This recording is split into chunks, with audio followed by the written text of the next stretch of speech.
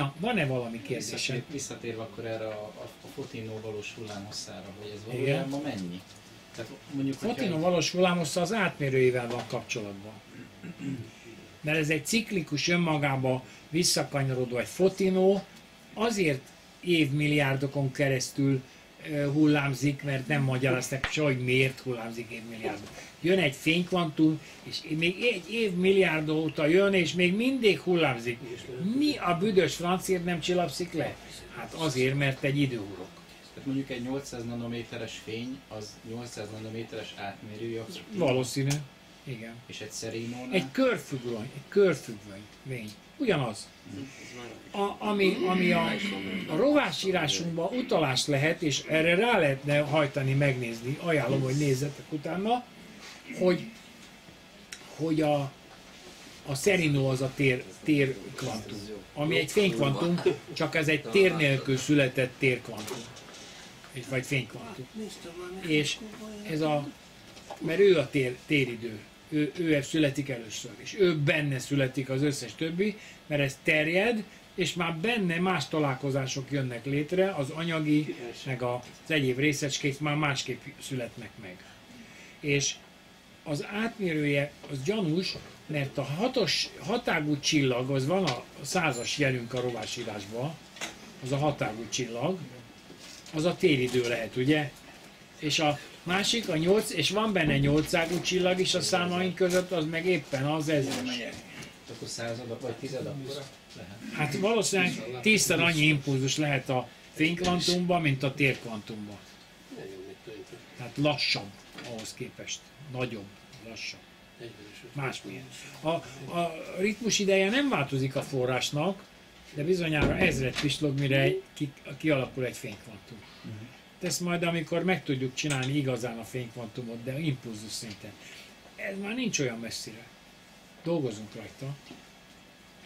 Hogy ki lehessen számolni, hogy mikor csapódik be a, a tahion mondjuk a... A, azt én kiszámoltam, az 3,16-tal ment, akkor, akkor pont 3 fordulatot csinált, ezt én kiszámoltam. Hát azért mondtam, hogy nem negyed fordulat, az oldalt ugrik, átlót ugrik, az azt jelenti, hogy oldalt ugrik az oktaideren, akkor egy háromnegyed fordulatot csinál, és aztán átlót ugrik. Megint egy háromnegyed fordulatot csinál, megint átlót ugrik. És így bejárja, az oktaidernek az összes sarkát, és igazából nem azt jelenti, hogy oktaider alakú a fénykvantum, hanem egy oktaider sarkaival lehet kijelölni azokat a pontokat, amely mentén ez a, a időforrás mozog. Mert egy időforrás az, csak A látomások mozognak benne. a látomások mozognak benne, és egyre szaporodnak. De nem jut 7-ről a 8-ra, a 7 meg a 8 És akkor Nem jut volt 7-ről a ez 8-ra. Ugyanúgy, hogy a térkvantum nem jut 5-ről a 6-ra. A fénykvantum meg 7-ről a 8-ra. Ez a tűzokádos sárkány, a nyújt. és ez a tűzokádos sárkánynak 7 tűzokádója van, ugye azt mondtam, 7 forrás van benne. Mert mindegyik tűz, tűzjel, ami benne kavar, de ezekből lesz a levegőelem. Együtt. Együtt már levegőelem. Ez egy új minőség, ameddig a, a tűzelem, a tahion az csak rohangál össze-vissza, de nem csinál maradandó, helyszerű dolgokat, nem helyes. Ne helytelenkedj. Milyeneket mondunk mi? Ne helytelenkedjél. Ez nagyon helytelen. A helytelen az azt jelenti, hogy szar nem jó. Mert ahol nincs hely, ott az nem jó. Ahol van hely, az jó. De ahol nincs téridő, ott mit csinál az űrhajód? Annyi neki, tehát helytelen. És azért mondják a, rosszak, a rosszra, hogy helytelen. Mi- Minden a nyelvünkben ott törződik. Minden szépen ott törződik. Mert senki nem érte az értelmét, de még, még mondjuk. És azért kell ezt most nyilvánosságra hozni és elmondani, mert már nem fogja senki megérteni különben. Később már senki. Nem is jön rá soha.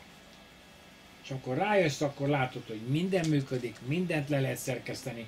Tehát ezeket körzővel, vonalzóval szerkesztettem gyerekek. Hát nem kell hozzá, mit tudom, micsoda számítógép, meg mi.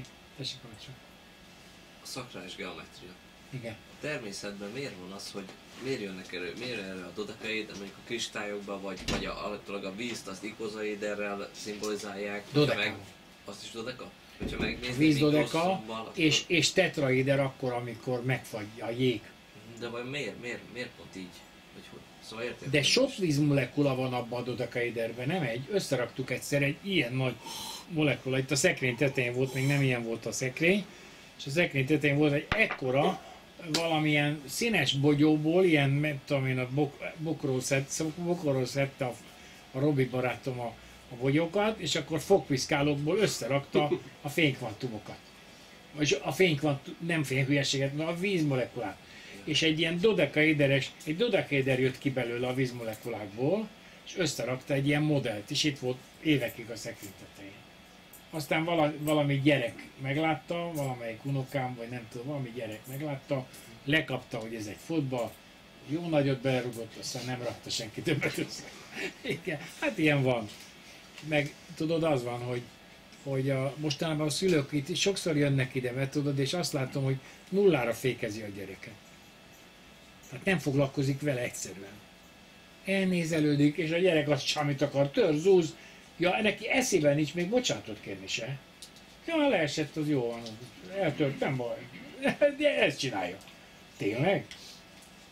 És ennyien megyek hozzád és szétrugom a lakásodat, akkor is ilyen pofát fogsz vágni? Mert ezt csinálják. Tényleg. Tehát milyen neveletlenek a gyerekek, teljesen bejön, az fotbaloz. Itt akar kapura rúgni, meg mit tudom, ez kirúgja az ablakot, mit tudom, úgy is lehet, persze. Hát lemehet az udvarra focizni, nem mondom, hogy ott van, rúghatja, van, van, izé, poroló, szögöny, izé, poroló, szőnyek poroló lemegy, az a kapu, rúghat bele, kész. Nem hogy Ez csak macsa.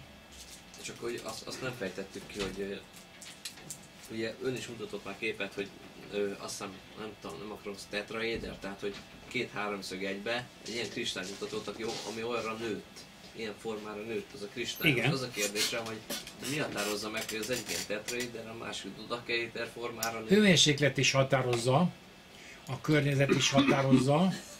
Tehát hozzá kell tenni, hogy a környezeti hőmérséklet, a környezetben lévő atomok, mert azok a hullámterek is hozzáadódnak ahhoz a keletkező kristályrendszernek a hullámteréhez. És ezért van aztán az, hogy az egyik ilyen ilyenre kristályosodik egy anyag, a másik olyanra meg körülötte mondjuk ólom van a közelbe. És annak a hullámtere vastagon belepofázik az ő kristályosodásába. Minden hat mindenre, és minden hat mindenre. Úgy van, úgy van. És a környezetbe, hát tulajdonképpen az ötvös inga is ezt méri, ugye? Hogy a környezetben lévő hullámtereket méri, hogy így fordítja el, úgy fordítja el a torziós ingát. De azt méri, nem mást. Az eredőket méri. Tehát nem egy darab hullámteret mér, hanem azt a iszonyatosan sok forráster, az iszonyatosan sok, de a közelben lévők hatékonyabbak. Akik görbültebbek, és azok hatékonyabbak. És akkor ezek szépen, szépen elfordítják az ingát, le, lebólint, elfordul, stb. Na de ez jobb, amit most csinálunk, mert hogyha ez aztán, ezzel aztán bele lehet látni a föld belsejébe és képi alakítani, csak egy kicsit kell rajta még dolgozni. Tessék. És a teremtésben minden elem ezekből a platóni testekből áll vajon? Nem. Vagy nem elem, bocsánat, nem. a dolgok? Úgy, úgy nem, mondtam. nem, nem. Vagy, vagy... Van, sokszor szerepelnek a platóni testek, mert ezek a szavas testek a természetben is. Dodekaéder, ikozaéder, tetraéder, kocka és oktaéder, ezek mind szépen, ez az öt szavás test, meg a gömb is gyakori bizonyos esetekben. Kör is előfordul jégfelszínek esetében, néha ilyen forgó, ezért Esztergál magának egy ilyen folyóhelye, vagy ilyen izéket, ilyen kör alakú táblácskákat. Láttam ilyen nagyon jó pofán, forogtak is, és közben úgy leesztergálta magának, hogy forgat így. Szép kerek, ezek voltak ott, forogtak. Szép kerek, ilyen jégtáblácskák, de teljesen kerek volt, szabályos. De ő leesztergálta magának, ahogy ott forgatta állandóan, és akkor az ott leesztergálta. De hogyha nem minden ilyen testek, akkor mi a többi? Uh, Vagy mi az, az van, van, egy csomó félszabályos test is, tehát mondjuk a kockának mind a nyolc sarkát lemetszed. Akkor olyan kristályok is keletkeznek, az oktaédernek mind a nyolc sarkát lemetszed, stb. Tehát ilyenek vannak, és ezek, ezek is kristály szerkezetek, de néha bezavar a környezet, és akkor ezek szabálytalanok lesznek. Mondjuk a piritnél van oktaéderes is, meg kocka is Például. Csak most ne, nem csak a kristályokra gondolok, az egész életre. Mindenben megvannak ezek a formák, mert úgy A, látom, az igen, élő nem? formák nagyon mások, mint az élettelen világ. Mások. Mások. mások. Hát, De a morfogenetikai tér, ami a Rupert Sheldrake szépen fölfedezett, de aztán még a mai napig cikizik szerencsétlen, az már, már 30-40 éve mitől fölfedezte a, legalább a publikálta a, azt, hogy a, a, a száz majom esetét, és a mai napig cikizik szegény Sheldrake-et, van weblapja, láttam, hogy szarra cikizik még mindig, a szkeptikusok, Hát ez a felfedezett valami nagyon nagy dolgot. Azt fedezte föl, hogyha egyszerre száz majom csinál valamit, akkor a nagyon messzire lévő majmok is elkezdik csinálni. Tehát 50 kilométerre lévő majmok egy másik szigeten ugyanakkor, ugyanaznap elkezdik csinálni azt, amit ezek felfedeztek. De csak akkor, amikor eléri a küszöbb értéket, a százat. Na most ez ugyanaz az embereknél is megvan. Tehát a, amikor csináltunk ilyen komoly gyakorlatot, akkor megvolt a száz igaz, működött is.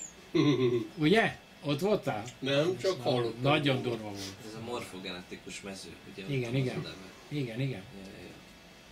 És az formák, a morfogenetizés azt jelenti, hogy formák továbbítódnak benne, és gondolatok. Tehát, tehát új, újra ugyanaz a forma megszületik, mert már egyszer megszületett. És ugyanez megvan, patkánykísérletekben is megvolt, hogy ha, Párizsban egy laboratóriumban egy patkány végigmegy egy bonyolult laboratóriumon, akkor ugyanabban Labirintus. a lab, a labirintuson, igen, akkor a, ugyanazt a labirintust a New Yorki patkány is sokkal gyorsabban megcsinálja. Mert már a patkányoknak a, a morfogenetikai terében, a közös gondolat terében megjelent a megoldás. És attól kezdve a büdös francba, New Yorkban lévő patkány, az is meg tudja csinálni. És, ennek, és ráadásul ez, ne, ez nem rádióhullámokkal terjed, mert ez sokáig ugye, mert csak azt ismerjük című dráma volt. E, de most már felfedezik a gravitációs hullámokat, még nem egészen azt fedezték fel, de már jó fele halad. Na most a, a lényeg, hogy, hogy ezt a Sheldrake-féle módszert se nem merték publikálni igazából, nem merték elfogadni a tudományt. Úgy félig ugye kirakták a szélére ott, hogy hát ha még igaza lesz, szóval ilyen van. Hát ez egyébként a tudományban nagyon jellemző, a konzervatív kapaszkodása az íróasztal szélébe, az nagyon megvan a tudományban. Hát nem baj, hát ilyen. Nem, nem. Te is kapaszkodsz a munkahelyedben. Hát most mindenki kapaszkodik. Parancsolj. Ugye kirakta azt a képet ezen az előadáson is, hogy a volt rajta, hát nem Merkaba volt, de egy olyasmi, meg mutatta a bal felső sarokba, és volt egy kocka, meg a Ja, az, a, Ez a kérdés, hogy ezek a formák, igen, az ezek formák. volt, igen, ezek a formák miért, miért néznek ki így? Vagy mi, mi határozza meg, érti, mi a folyamat, ami által kialakulnak és ilyenek lesznek? Ezek a, Mint a platoni testek, azok is ilyen formák, csak igen, hát a kocka, a kocka az az oktaéder duálisa, és az oktaéder a kocka duálisa. én értem, de miért pont így fog, így Ha az atomokat ki? összerakom, akkor így szeretne, mert a téridőben, a téridőben kikristályosodnak a, az anyagok.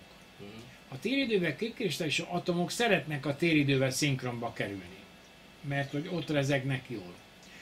És belekerülnek egymás hullámterébe is, és megtalálják azokat a nyugalmi pontokat, ahol az atom meg tud maradni. És ezért elkezd rakodni összefele. Csak tessék észrevenni, hogy ez a folyamat akkor fog fölgyorsulni, amikor már kész van az első oktaéder.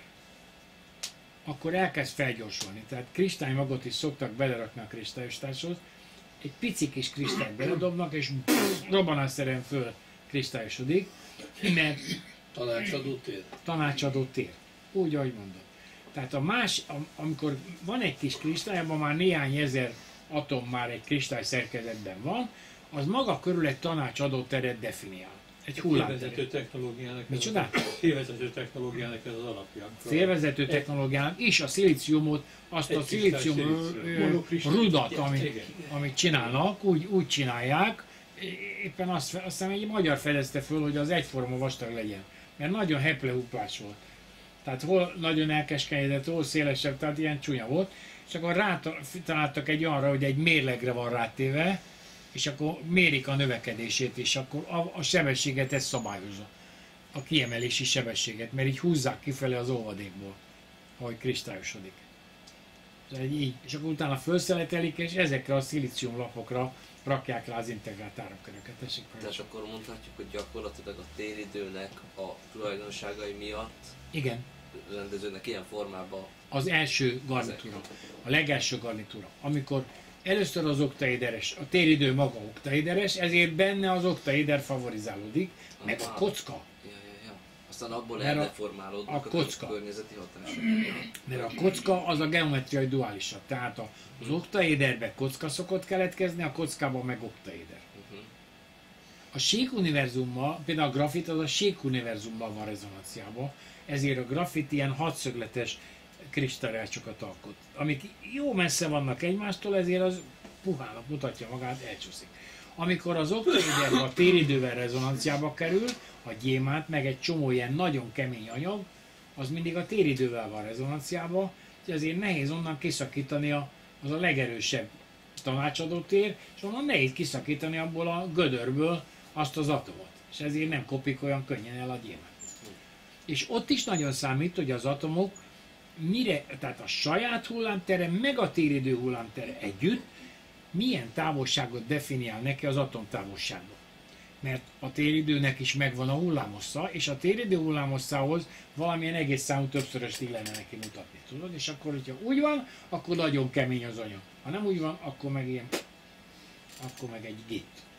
Tehát, tehát, hogy összegezzük, mondta az előbb, hogy a, az, e- a hogy mondjam, a dolgok hullámtere befolyásolja egymást, de mondhatjuk, Igen. hogy alapból volt az oktaéder, Igen. a kocka, és a Igen. befolyásolásokból mondjuk Tessék így megnézni, az összes forma. milyen. A Universitás CD-n van egy olyan könyvtár, hogy ö, mozgó, az a neve, hogy mozgó. És a mozgóban vannak képek, és a képekben minden van. Tehát rengeteg ilyen kép van, nézd meg, ez egy ritka földfém mágnes. És ez azért érdekes, mit veszel észre? ezt a, ezt a meg, vagy hát a fénynek a Sík. A Dávid csillag az, az a síkba, az a síkba a- téridő maga. Tehát a szempélekkel rezonanciában van a ritka földfém mágnes, és baromi erős, mint mágnes. Sokkal erősebb, mint ezek a fingilingi mágnesek vasból, acélból. De a Dávid csillag az csak bele van rajzolva. A Dávid csillag nem feltűnjön. véletlenül van belerajzolva, Igen, igen, igen. mert a következő probléma volt, ha olyan helyre kötöttek be, olyan helyre fot- kötöttek be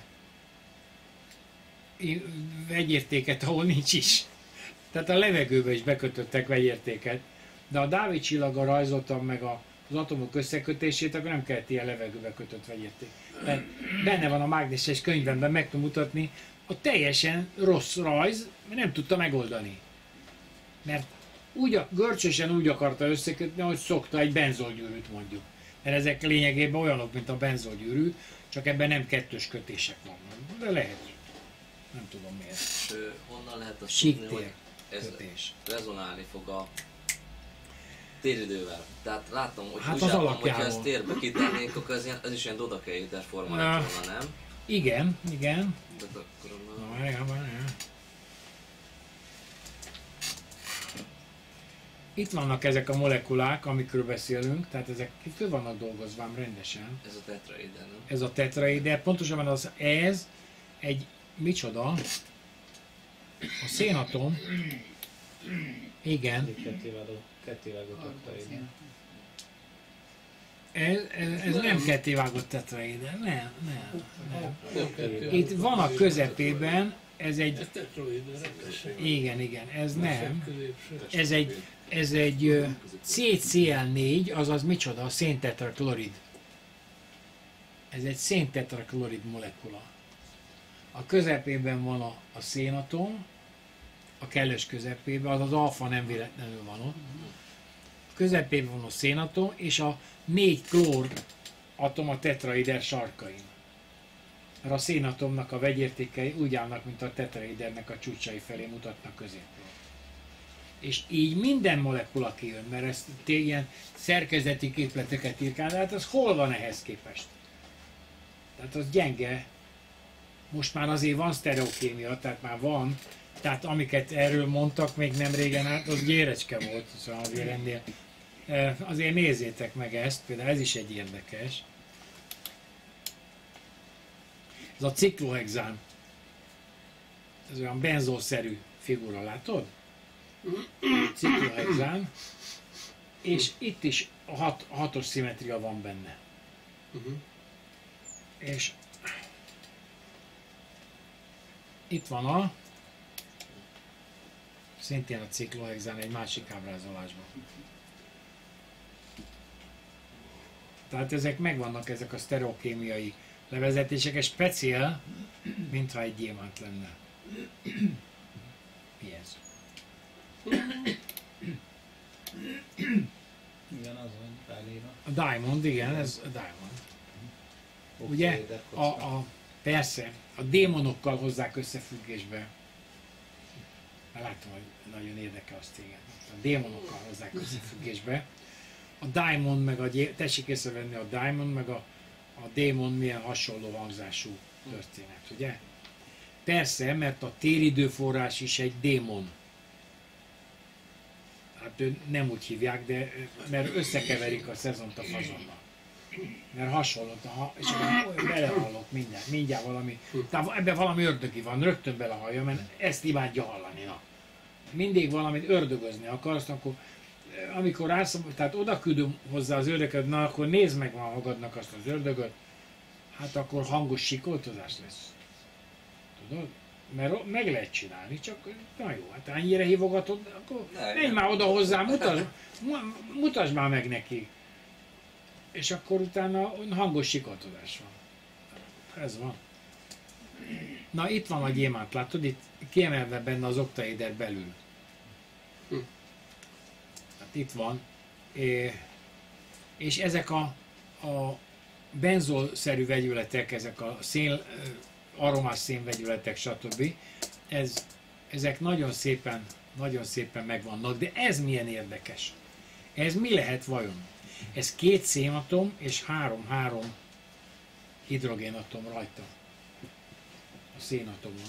És ez így kapcsolódik egymáshoz, minden szög stimmel kiszámoltuk, megkerestük, megkerestük sztereokémiával, bizony stimmel. Ezek a szögek jók, amiket mi szerkezt. Pontosabban nem én szerkesztettem, én csak, hogy mondjam, ezt a nagyon kedves tanítványom szerkesztette, a Tamás, igen, a Betlen Tumi szerkesztette ezeket. Nagyon sokat dolgozott ezekkel. Én csak idegen tollakkal lékeskedek itt most. De ő az egyetem, a mi egyetemünknek szerkesztette ezt, tehát ő nem véletlenül csinálta. Ez egy konzultáció, vagyis hogy ez nem rólam szól, hanem rólatok. Kiérti a világot, és hogy ezt a világképet valahogy össze tudjuk-e foglalni egy egységes egészbe, ez nagyon fontos, hogy egy egységes egészbe. Ez, amit én elmondok, és amit mindig elmondok, az a nagy egyesítés. Az az egyesítés, amire a, a, az egész világ vágy, vágyik, hogy, mert hogy az ikkesége, mint a trafik, ugye, aminek a múlt ideje a dohány volt. Ugye? Tehát, és ez a lényeg, hogy e- vágyik, vágyik rá a világ, de borzasztó gátjai vannak. Ennek a legnagyobb gátja nem más, mint a megértés. Nem viccelek, a megértés. Tehát, hogy alapvető dolgokat a világ nem ért, pedig a vallások például alapvető dolgokat tanítanak, minden vallás, minden nagy világ, mind az öt nagy világvallás alapvető dolgokat tanít. Természetesen vannak olyan eh, vadhajtások is minden vallásnál. A nagy világvallások mit csinálnak? Eh, Elmondják neked a teremtést, de mindegyik a saját szemszögéből. Ott is a meg nem értés az, ami a legnagyobb bajt okozza. Tudnék, egymást sem értik. Mindegyik tudja, hogy valahol az igazat mondja, de nem érti.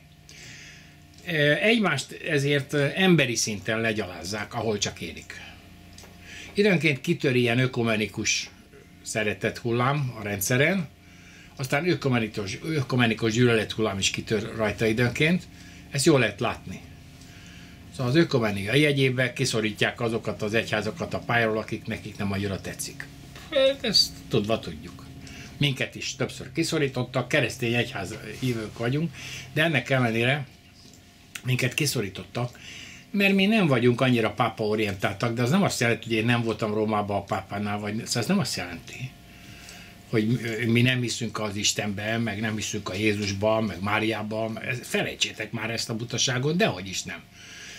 És azt se tessék el hinni, hogy a mohamedánok nem hisznek Jézusban. Tehát az is egy mérhetetlen nagy hülyeség. Komolyan mondom. Menj el csak Isztambulba, nézd meg, mi van kiírva a, a nagy mecsetben, Isa proféta van kiírva, zárójelben azért oda tették mellé, hogy Jézus. Tudni törökül Jézust úgy mondják, hogy Isa.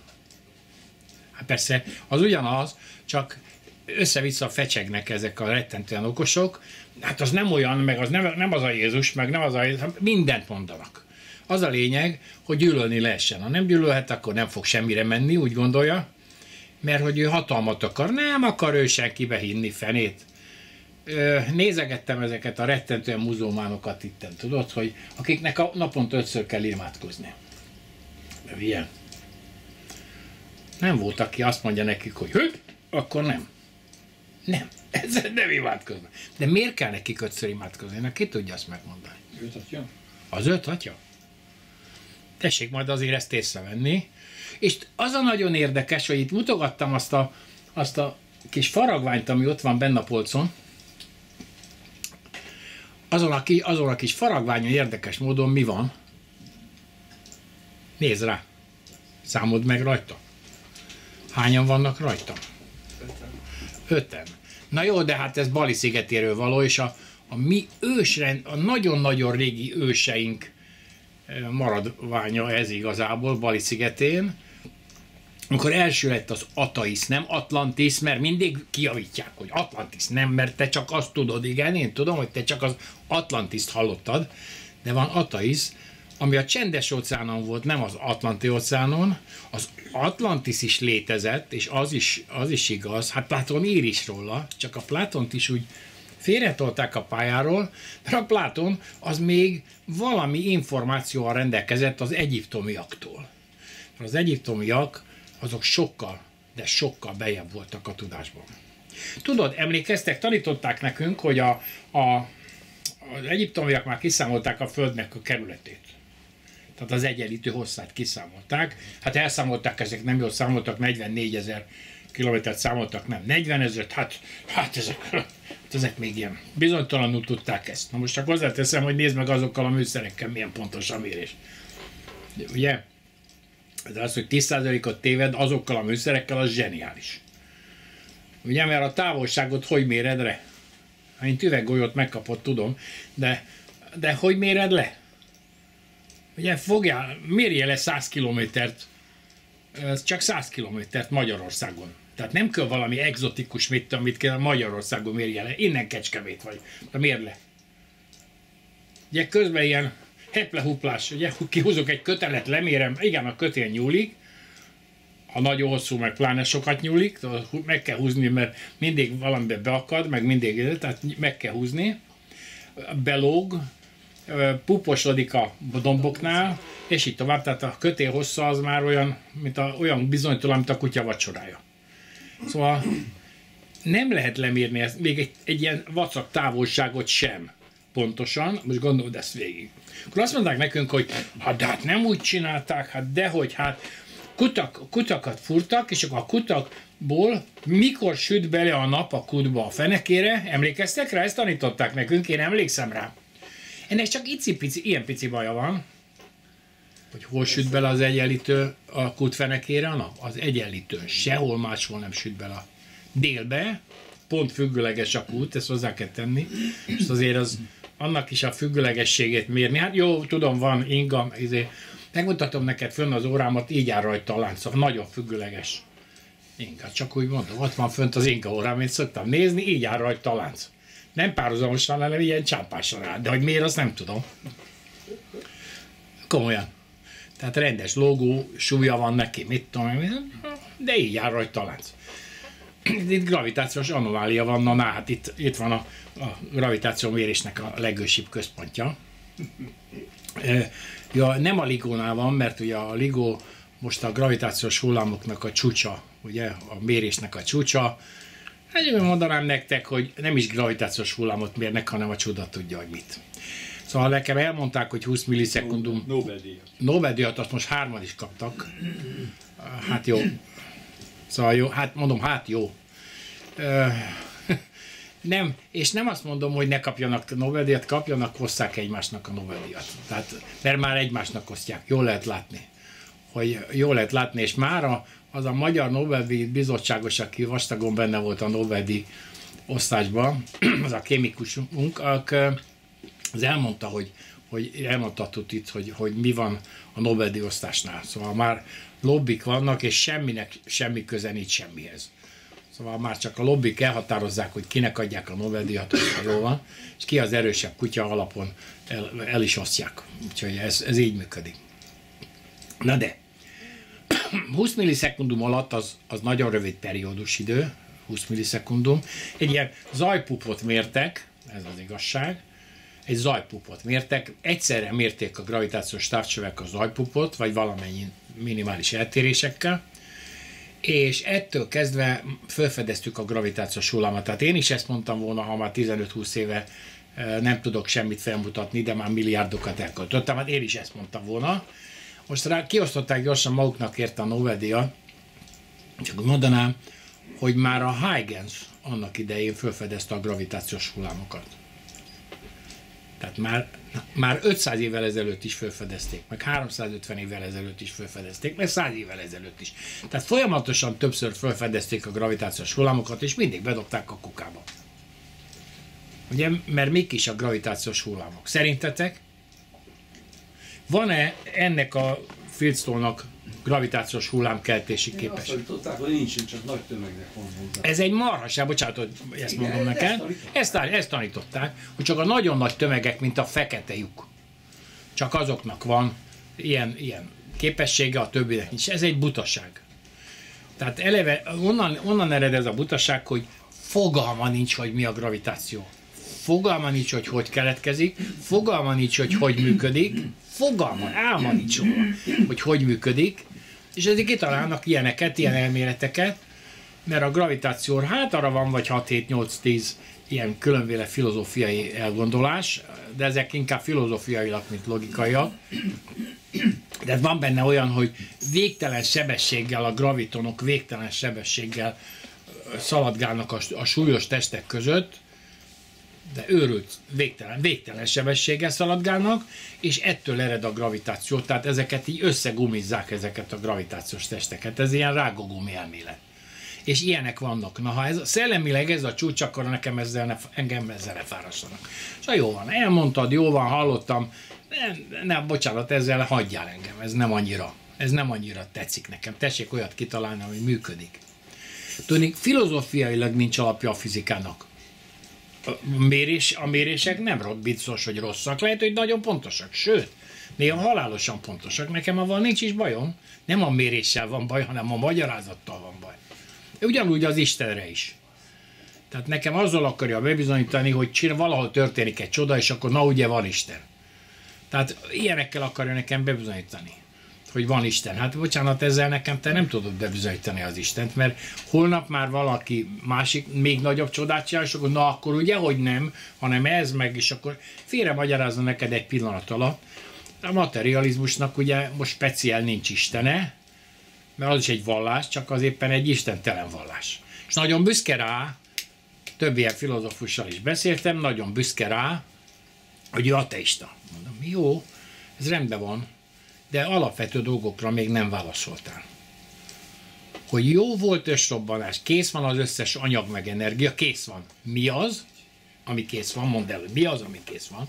Tehát hogy néz ki egy részecske, hogy működik egy részecske, miért kell gravitációs hullámokat, nagy tömegben miért kell, na jó, de nagyon nagy tömegben miért kell gravitációs hullámokat, hogy tud 20 millisekundum alatt összeolvasni, ha olvasol a fekete lyukakról, hát azok azok gyakorlatilag kívülről nézve szingularitások, de azért van nekik átmérőjük olyan 50 km.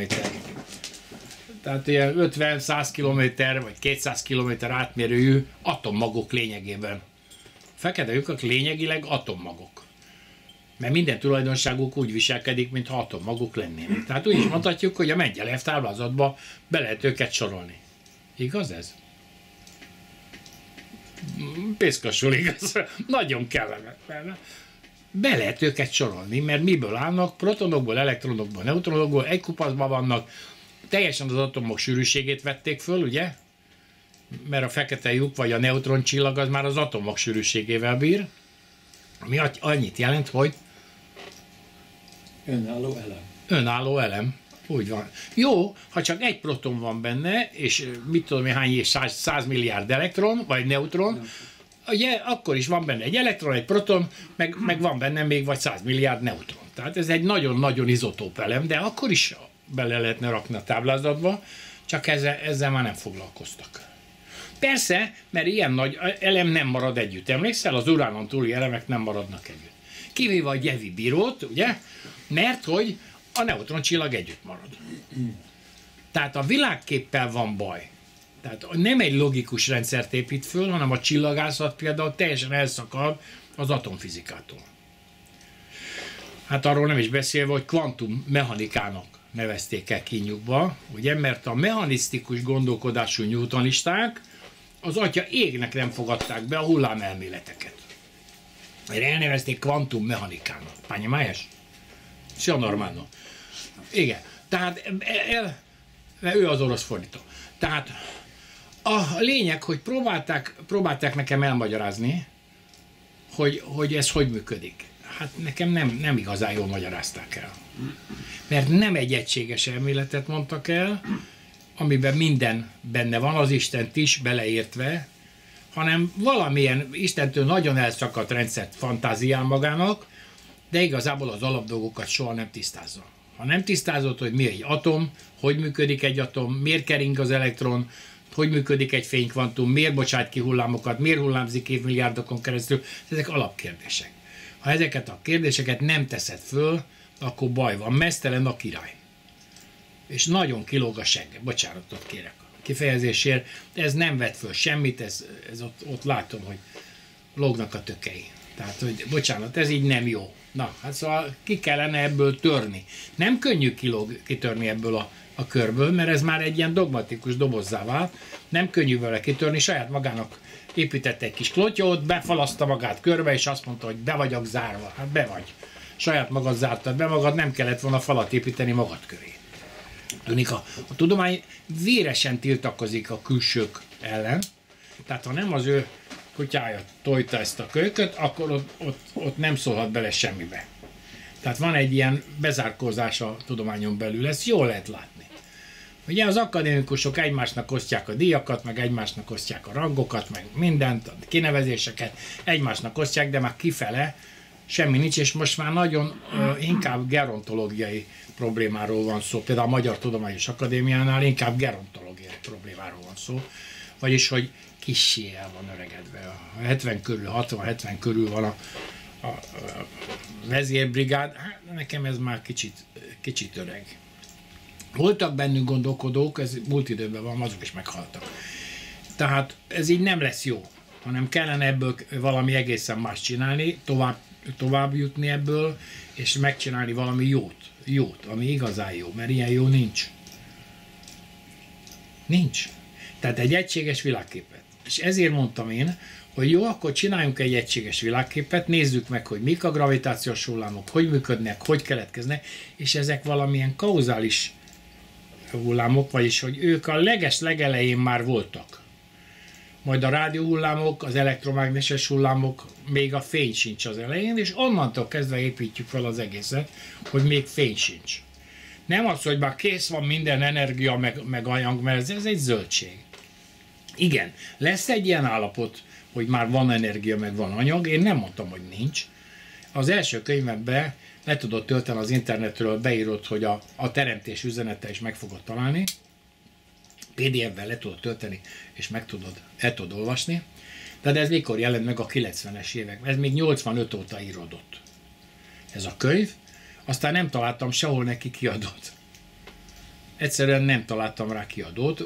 Ja, hát a lektorok azok úgy olvasták, hogy telefonálgattak itt nekem ilyen fél 12-kor még, hogy hát én ilyen baromiót nem olvastam. A lektor. Aztán a kiadó igazgatója telefonált, hogy hát kérem, milyen tudományos, vagy tudománytalan hülyeségekkel nem foglalkozunk, és, akkor vigye innen a kéziratot. A volt, amelyik meg a háttérkiadó, eh, hogy hát a kézirat helyett adtak egy fénymásolatot. Az, egész, az egészet úgy, hogy volt lefénymásolták.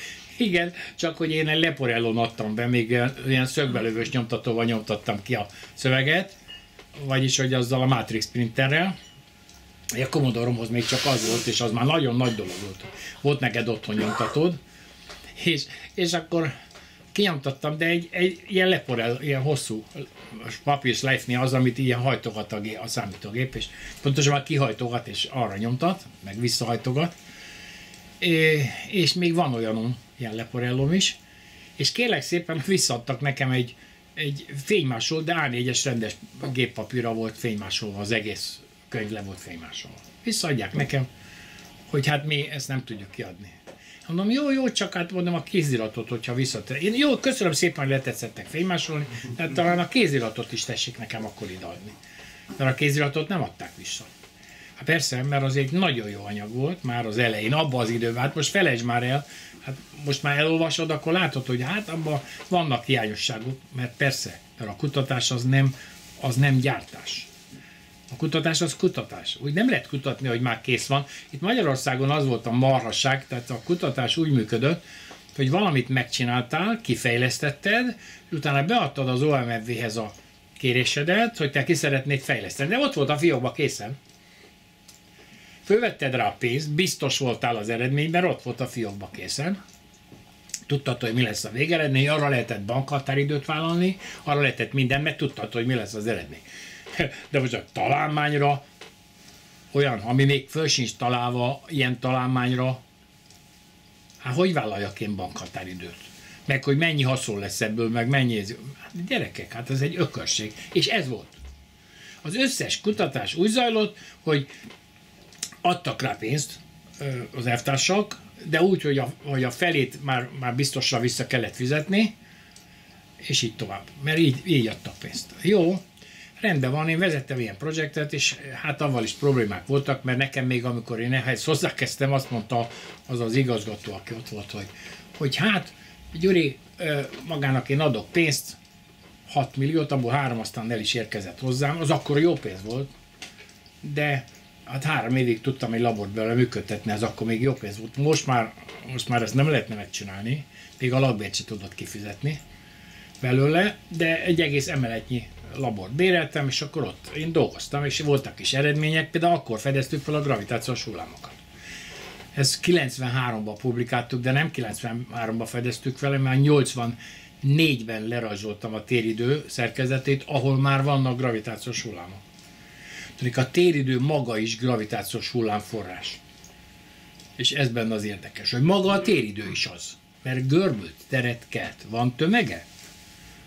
Hogyha körbe-körbe másolódó időforrások azok, amik keltik a téridőt, akkor, akkor annak már kell, hogy legyen tömege. Nem elgörbül a tér, bocsánat, az eredmény tökre ugyanaz. Görbe a tér. Aha, elgörbült.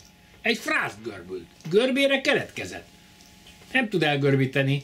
Tessék végig gondolni már. Az összes ilyen gravitációs elméletnél mit mutogatnak? Van egy mátrix, és akkor az elgörbül. És akkor ezt tanítják már 50 éve. Ezt a maraság. Ez maraság. De, de ezt tanítják 50 éve. Ezt másolgatják egymásról, és ezt tanítják. Hogy elgörbül a tér. Ja, közben megkérdezed a fizikustól, hogy na és akkor mi ez a tér? Hát az csak olyan paraméter, meg az idő is csak olyan paraméter, tehát az csak úgy a számoláshoz kell nekünk. Tényleg? Tényleg? Ezt komolyan gondolod? Igen? És mitől van az egész rendszernek dinamikája? Mitől forognak az elektronok? Mitől keringenek a bolygók? Mitől van dinamikája? Mitől mozog az egész? Si muove. És mégis mozog. Szegény Galilei Galilei barátom él most.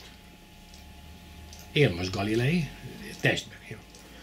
És ő tudja, hogy ő volt a Galilei, de a milyen érdekes, ő, ő megcsinálta a, a Bodai trafónak egy változatát, és működött 1,41-szeres teljesítménnyel működött, vagyis hogy beadtál neki 100%-ot, ki lehetett belőle venni 141%-ot, gyök kettőször annyit. Ki lehetett venni belőle. Hát ez aztán nagyon ciki. Ugye, mert ez, ez megcáfolja meg, meg az energia megmaradás törvényet. Itt cáfoltuk méréssel, tehát bemenő áram, kimenő áram, terhelés, trafon, stb. Ezt megcsináltuk. Nekem itt van műszerem. Tessék nekem elhinni, hogy va- műszerekkel mérek, nem fantáziálok, lemérem, a legjobb műszerek is vannak. Tehát nem, nem arról van szó, hogy kitaláltam, mint a filozófusok szokták, azok szoktak ilyet csinálni, hogy kiszívja az ujjából, elmondja, és aztán utána a többinek egyáltalán nincs ötlete, és akkor átveszik, mert saját ötletük nincs, na nem baj, akkor gyorsan. Vagy átveszik az ő nevén, vagy leplagizálják, szóval ilyen van. De saját ötletük általában nincs. Ez nagyon szomorú, hogy így van, de nincs. Tudva tudom, én egy, én egy buta kívülálló senkiházi vagyok. De tudva tudom, hogy többször komoly projekterbe vettem részt, és láttam a kollégáknak, mennyire nincs ötlete. Az ukránoknak inkább volt ötlete, mint az oroszoknak. Ez volt az érdekes. Tehát az elnyomott népeknél jobban pörög az agya a tudósoknak is. Egyébként az ukránok egyáltalán nagyon ezoterikusak, meg az oroszok is. Semmi közük ahhoz a hisztihez, amit itt az MTA levág. Semmi közük. Tehát abszolút benne vannak mindenféle ezoterikus dologban is, mert nagyon jól tudják, hogy ott is van az igazságnak egy része. Nem azt jelenti, hogy az az igazság, hanem egy része ott van. És ha kidobod a fürdővízzel együtt a gyereket, kiöntöd az udvarra, akkor baj van. Tehát ez a probléma hogy kiöntik a fürdővízzel együtt a gyereket, nem néznek utána, de egyáltalán picit sem néz utána, hisztisen elmenekül előle. Hát ilyen tudománytalan is, akkor elmenekül. De közben ő a nagyon tudományos, meg alapvető dolgokra nem válaszol. Hát ez a baj a vallásokkal is, meg ez a baj a tudományjal is.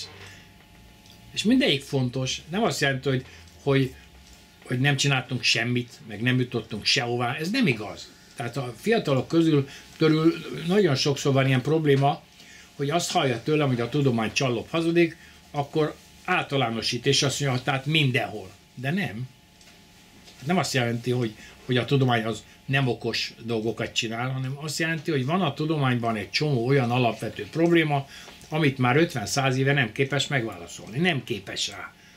Vagy nem akar képesnek lenni rá, mert ez is benne van, hogy már lehetne, tudna válaszolni, de nagyon menekül, mert benne belekerül a lecsóba rögtön, ugye? mert egymást lesik, hogy hogy lehetne egymást kicsinálni, ahelyett, hogy egymást segíteni. Tehát ez a team munka, ez nagyon ritkán sikerül. Több ilyen teambe vettem részt, láttam, hogy micsoda furás faragás volt egymás között, mert, a, mert nem, hogy összedolgoztak volna, hanem azt lesték, hogy a másik hol téved. De nem azért, hogy javítsanak a dolgon, mert bizonyára jó az, hogy nekem te szólsz, hogy én tévedek, de ő csak azért csinált, hogy engem kiforjon az állásomból az, így már egészen más a helyzet. Ez nem team munka, mert ki akar téged közösen, ő legyen a legerősebb kutya, aztán jó van. Tehát ez így nem működik. És az emberi tényezők itt megjelennek. Néhány helyen, ahol nagyon jó vezető van, ott azért működik, de csak, csak itt ott. Még a KFK igaz, igazgat, vezérigazgatója, akit én, akivel én már személyesen is találkoztam, az is azt mondta, hogy a ő munkatársai azért dolgoznak, mert nagyon utálják egymást. Tehát már nincs is KFK már. Szóval már igazából szétesett, a bemész, akkor ott alig van már élet, ahol régen őrült nagy nyüzsgés volt. Ha valaki fiatal és járt fönt a KFK-ba, akkor tudja, hogy ott igen nagy nyüzsgés volt, komoly élet volt. Fönn volt ezernyi ember, külön buszjárattal rohangáltak, és sokan voltak, akik ott dolgoztak, és tényleg tudományos kutatást végeztek sokat haladtak is. Hazajöttek nyugatról vezetők, nyugatról hazaérkezett fizikusaink, és elkezdték a fejlesztést. Mert megbízták őket, akkor rendes fizetést kaptak ahhoz képest. De csak a vezetők, hát a beosztottak már ritkán. Az a másik nagy probléma, tudod, hogy könnyű elcsábítani nyugatra, hogy ott 10-20-szoros pénzt adnak egy pillanat alatt. Ja, és akkor te csak a takarítónő vagy. Tehát itt kezdődnek a, a problémák. Hívtak engem már ilyen kutatásra, csak olyan vicces pénzt ajánlott föl, amennyit ott a takarítónő keres. És mondtam, te most engem takarítónőnek hívsz, vagy, vagy kutatni? Mert ha kutatni hívsz, akkor adjál rendes fizetést. Aztán ezt kétszer emelték, de még mindig a vicces kategóriáig csak. Mert hogy, mert hogy így működik. Azt mondja, jó lesz ez ennek a keleti majomnak, az is elég lesz. Na most engem, engem így, így hívogattak, azt mondtam, hogy jó van, felejtsen. Nem lehetséges, hogy tudatosan tartják Igen. ezt a szintet, a, a fizikai kutatásnak ezt a szintjét, amit mi elérhetünk, teljesen tudatosan tartják ezen az alacsony szinten. Abszolút és, így van. És létezik egy ketrec, amiben a, kiválogatják a, a Aranyketrec, ahová kiválogatják, a, a, ami kilóg a, Ha 50 évig nem fejlődik semmi, akkor más következik. Annak idején volt az a vicc, hogy, hogy mi különbség van a gombatermesztés meg a szocializmus között. Hát igazából semmi, mert a kinövekvő fejeket mindig levágják.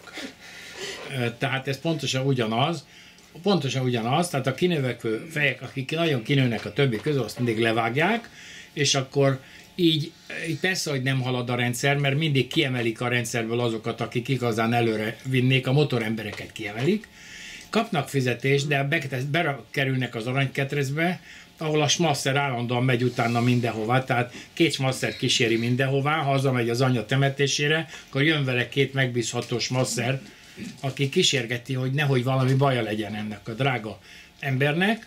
E, Így működik, és én nálam itt voltak olyanok, a smasszerokkal együtt is volt már, nem is egy. Itt volt az egyik ilyen fő, fő, fő KGB, és nem is KGB-nek hívják már, itt volt, és hát ugye, mert látják azért, hogy mit csinálok, voltam kint Moszkvában, meg voltam Kievbe, meg látták a kutatásokat, amiket csinálok, még publikálom, én nem csinálok semmi. Ezért, Jó, én nem a tudományos folyóiratban, ki a fene erőködik, ott olyan tülekedés van, a fene erőködik. Az nem publikáció, hogyha fölteszed az internetre, de hogy nem, ugyanolyan publikáció, bocsánatot kérek. És ha megnézed, hogy milyen dátumok vannak a képeimen, mert azt azért nézd meg, mert lehet, hogy a szöveget javítottuk, mert voltak benne sajtóhibák, és javítottuk, és ez későbbi dátum került, de mindig a képet néz meg benne, mert azt nem javítottuk. És akkor nézd meg, hogy hányba keletkezett az a kép. Tehát milyen a, a weblapok 2002 körül, körül kezdtek nagy számba keletkezni, akkor kezdtem el kajakra dolgozni, hát olyan tízezer weblapot lenyomtam, tudod?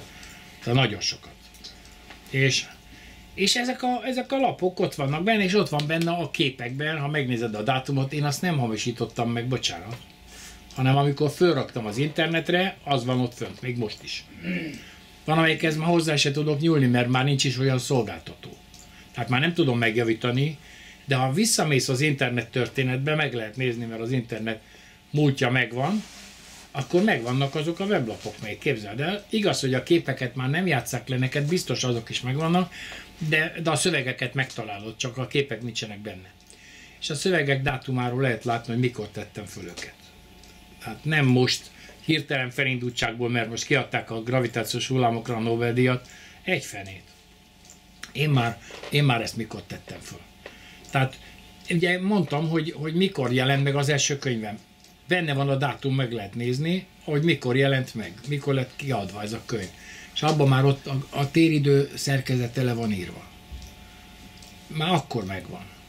És akkor ez volt az érdekes, hogy a könyv megjelenése után közvetlenül, tehát nem sokra rá, egy fél évre, tehát a közvetlenül az nem holnapra volt, fél évre rá beszéltem a nagyfőnökkel, ebben a nagyfőnökkel, aki ott fönt van az égbe, beszéltem vele, és, azt, és akkor kérdeztem róla, hogy hát segítenél nekem valamit az energiába, hogy, hogy az energia szerkezetét pontosítsuk.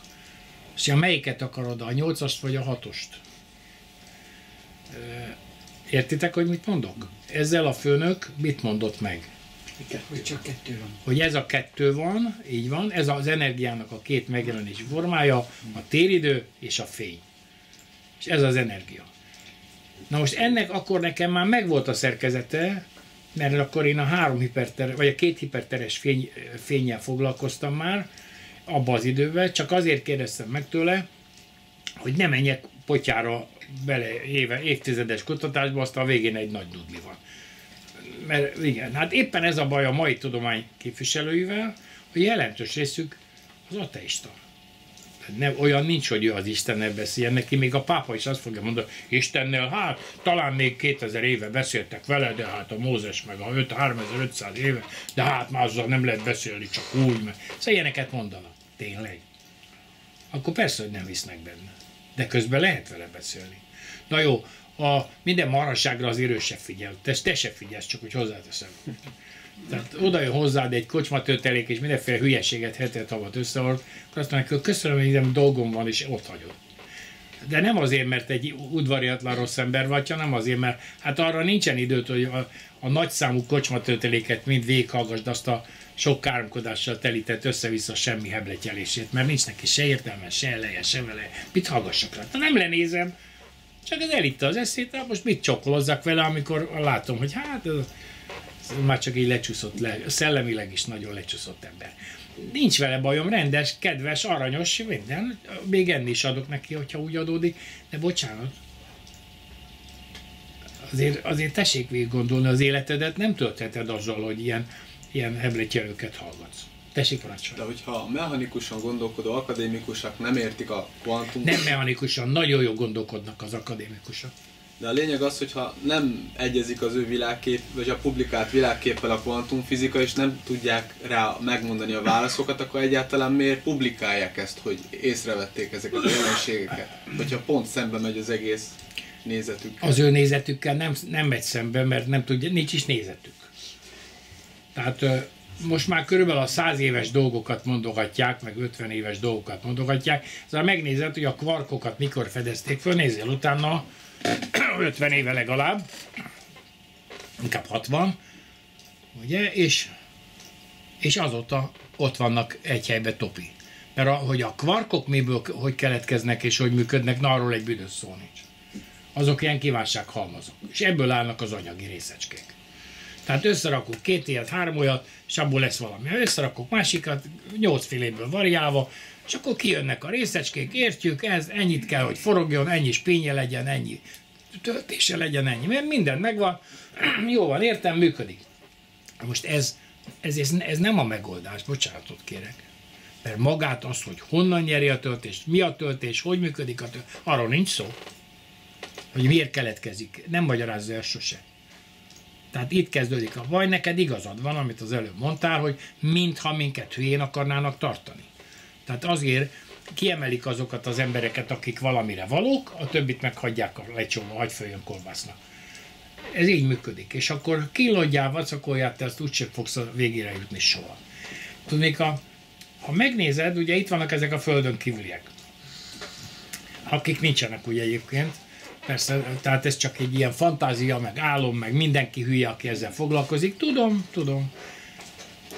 De mondjuk, mondjuk ukrán akadémikusnak voltam már, nem is egynek a lakásán, akik speciális kutatók voltak, és azért hívtak fel a lakásukra, mert látták, hogy többet tudok a témáról, mint ők maguk. Mert akármit kérdeztek, mindenre tudtam válaszolni, amit ők tudtak, de azon kívül mondtam valamit, de nézd csak meg, hogy ez itt miért van hű a tényleg, ha. Érted? Ez volt a... És csapkodta a fejét, hogy Gregor, ez nie pravda. De mondom, ez még izvesztia is. Tehát, hogy hogy a fenében ne? Hogy a fenében ne? Ez igaz, utána kell nézni. És, és azok hoztak ilyet, hogy elő, egyszer csak előhoz egy csomag fényképet, na mi volt rajta, hogy mit gondoltuk. Ő speciális munkát végzett ilyen speciális területen, egy Les Vantufónál speciálisan, de közben ben volt az ufo egyedül, és vittem a fényképezőgépet, azt mindent lefényképezett.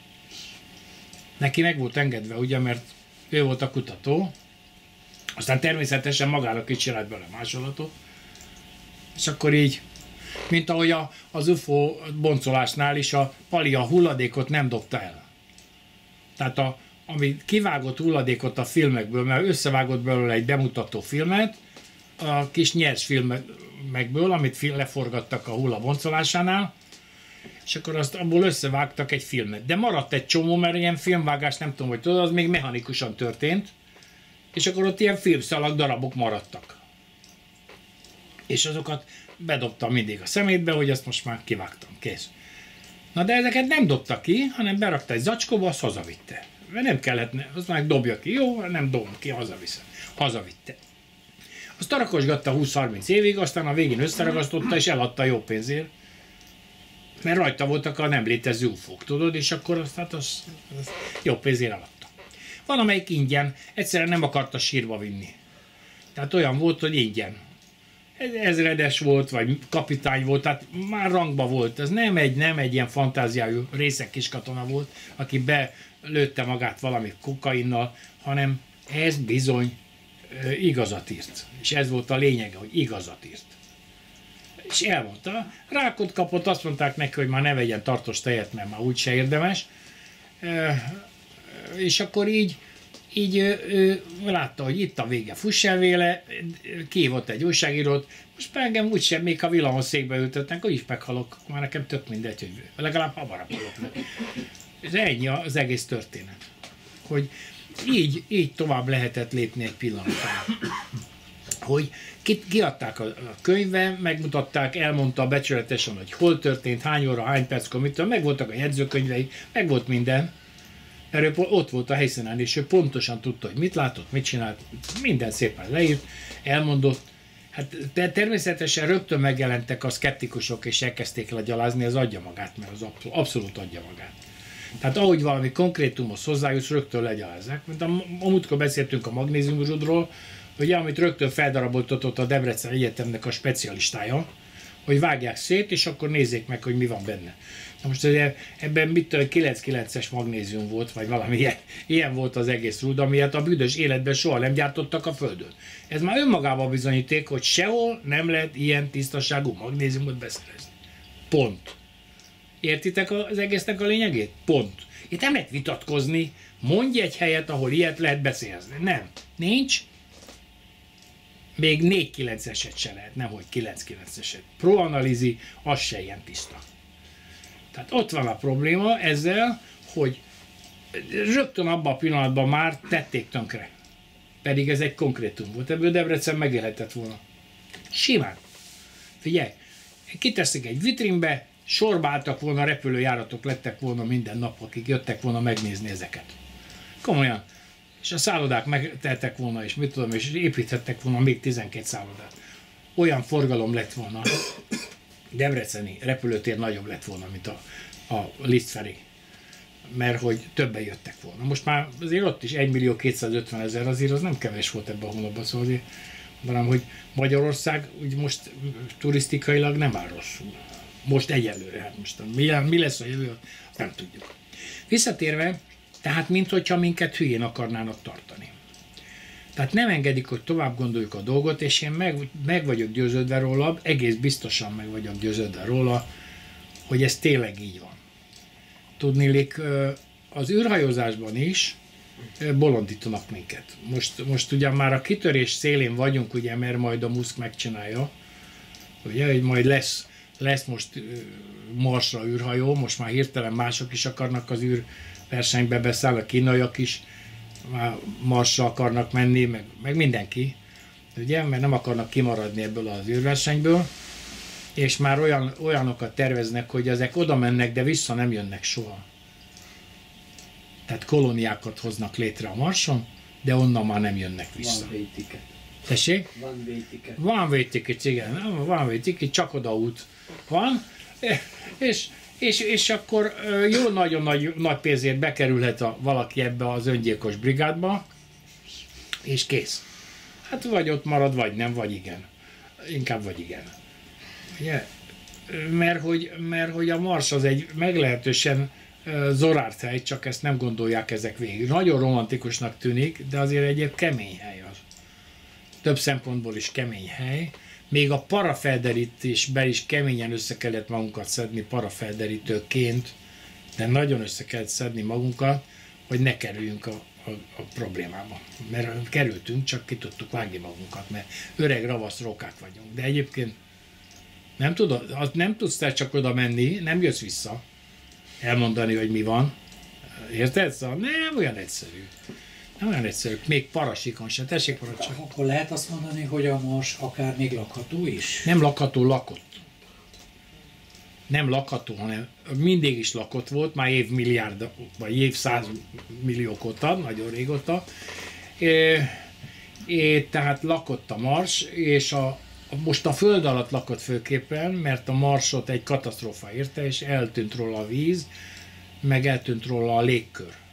Egy meteor elsúrolta a Marsot. Nem találta el, hanem elsúrolta az oldalát, És vágott, hát azért ugye egy 7 km, 7,5 km még gödröt vágott, a Wallis Marineris gödröt. Tessék csak megnézni, ott van a térképen, Mars oldalában egy ilyen 7000 vagy 5000 km hosszú ilyen árok, ami, ami 7 km mély. Ugye miért mondogatom én ezt? Mert ugye ott 7 km, 7000 méterrel Van levegő. nem, 7000 méterrel még, még gödörben a levegő jobban meg tud állni, így van. Először is a felszíni szél nem fúj anny- annyira el, ugye, mert a, a gödörben nem annyira fúj a szél, ez az egyik.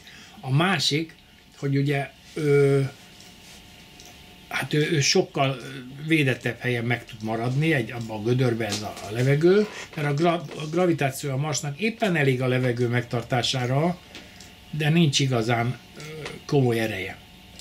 A Földön sokkal nagyobb ereje van a gravitációnak, mert a Mars az kisebb, sokkal kisebb, fele akkora átmérőjű bolygó, mint a, a Föld.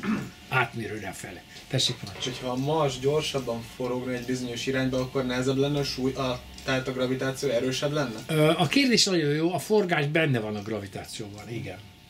Benne van a gravitációban, de nem csak a centrifugális erő miatt, ugye, hogy forog és kifele a repítő erő lép fel, hanem, hanem egyébként is benne van a gravitációban, mert mi a gravitáció? Az atomok kiáradásának az összessége, ez a gravitáció. Az atomok kiáradása nem elektromágneses kiáradás, hanem egy léthullám kiáradás. A léthullám azok a gravitációs hullámok, az nem egy másik valami, az ugyanaz. És ez, a, ez, a, ez az, amit az éter hullámainak is szokták nevezni. Ez sok néven szerepel a tudományban, vagy a tudománytalanságban, de a rádiósok még most is az éter hullámain kommunikálnak, csak úgy mondanám. És az éter hullámai érdekes módon a világűrben is terjednek. Na most a vákumba mi a fenébe terjednek, az nem közeg. Érted? Az nem közeg. Vákum az nem közeg. Már a fizikában nem közeg.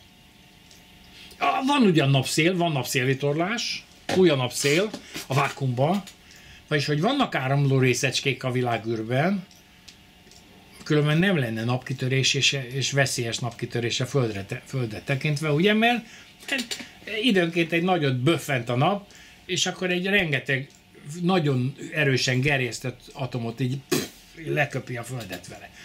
És néha ez a láng idáig csap. A lá az a napnak az egyik régi neve. A láng szavunk is ered belőle.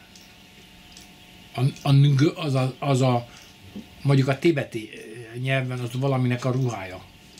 Burkolata, ruhája. Itt van a az ing szavunk, meg a fing. Tehát az is az rád ragad időnként, és nem, szab- nem tudsz tőle szabadulni, jön veled mindenhová. Meg gravitációsan vonzod a kibocsátott anyagot, a rohadék nem tud eltávozni. Tehát egy légköröd lesz, úgy is lehet mondani. Nem véletlenül mondok én ilyeneket, mert ezt mindenki megjegyzi. Azért mondok ilyeneket. Ezt megjegyzi. Egyébként nem jegyzi meg. A fingerról van szó, na akkor kefér, és akkor is mindent megjegyez. De egyébként nem jegyzi meg. Ez az őrület. Mert így működik az ember agya. Hát. Tehát ez a lényeg, hogy Marson most is van élet, ilyen föld alatt élet, én szerintem olyan 15 millió életnek a Marson. A föld alatt, ilyen föld alatti rendszerekben. Tessék parancsolni. Milyen sűrű a mars. Sűrűség a föld. Milyen sűrűség a Marsnak, én nem tudom neked, meg, meg kell nézni, hogy mennyi, de de hi- hi- gyengébb, mi 3,5 vagy mennyi lehet az átlag sűrűsége. Azt hiszem. A Föld 5,5 körül van, Hát ugye mert van egy nagy vasnikkel magja a Földnek. Ott, ahol az üreg van, a, a Lukasföldeseknek az ürege van, ott van a, ott van a vasnikkel magja. Amit egyébként a gravitációs távcsővel lehetett látni. Tudtuk látni. Tessék, Pancsa. Azt szeretném kérdezni, ugye azt tanultuk, hallottuk, hogy a gravitációs hullámok terjednek kifelé a forrástól. Mindig. Mindig. A neutronban is, a protonban Igen. is, elektronban is. A fénykvantumban is. És meg a téridőben is. És ezek a hullámok az időforrásokra hatnak, azokat helyezik tovább, egymásra nem hatnak. A hullámok egymásra nem hatnak, Csak hanem az időforrásokra hatnak, igen. Ez azt jelenti, hogy mindig taszogatják, vagy távolítják egymást. Úgy van. Tehát a gravitáció alapvetően Hogy taszít. lehet érezte, érezni azt, hogy a gravitáció mégis összetart dolgokat, illetve vonz. Mm, Ez nagyon ez jó, fel. nagyon fogos ravasz kérdés, és jó is. tudnék ez az alapja a működésének, és ezért kell az időszerkezettan megtanulni, mert különben a büdös életbe erre rá nem jössz. Én Tessék, szerintem Balázs. tudom a választ. Hát a tahionok negatív időt keltenek. Ott van a válasz, így van. Hát fordítva van. Tehát a vízelemek még feszítják egymást, de amikor már meghaladja a terjedési sebességét a forrás, akkor már befelé vonza. Akkor Amikor negatív időrendszereket kell. Amiben fordítva telik az idő, ha fordítva telik az idő, akkor az nem taszít, hanem vonz. Vonz. Tehát az eredője hol taszítás, hol vonzás, ez a nagyon érdekes, mert az eszenciális felszínek, az eszenciális rétegek felszínei, azok víztípusúak, vagyis hogy taszítanak, de az eszencia rétege maga, az, az kettős, hármas idő, négyes idő is van néha, tehát ott több, több, hogy mondjam neked, ilyen kettős látása van az időforrásnak, mert egyszerre kettőt, hármat is lát, és ez a kettős, hármas látás is általában vonzásban nyilvánul meg. Tehát nem taszításban, ez a benne a lényege. Hogy nem történt semmi, csak negatív idő keletkezett. Tessék megnézni a Szent Koronánkat. Tessék alaposabban megnézni a Szent Koronánkat. Ezeri éve ott van rajta a megoldás, és mindenki láthatja, mindenki nézheti. Nekem nehogy azt mondja valaki, hogy még sose látta a magyar koronát. De nem figyel. Persze oda megy, tiszteleg előtte, ami rendben van. Mert a korona az egy személyiség, de rendben van.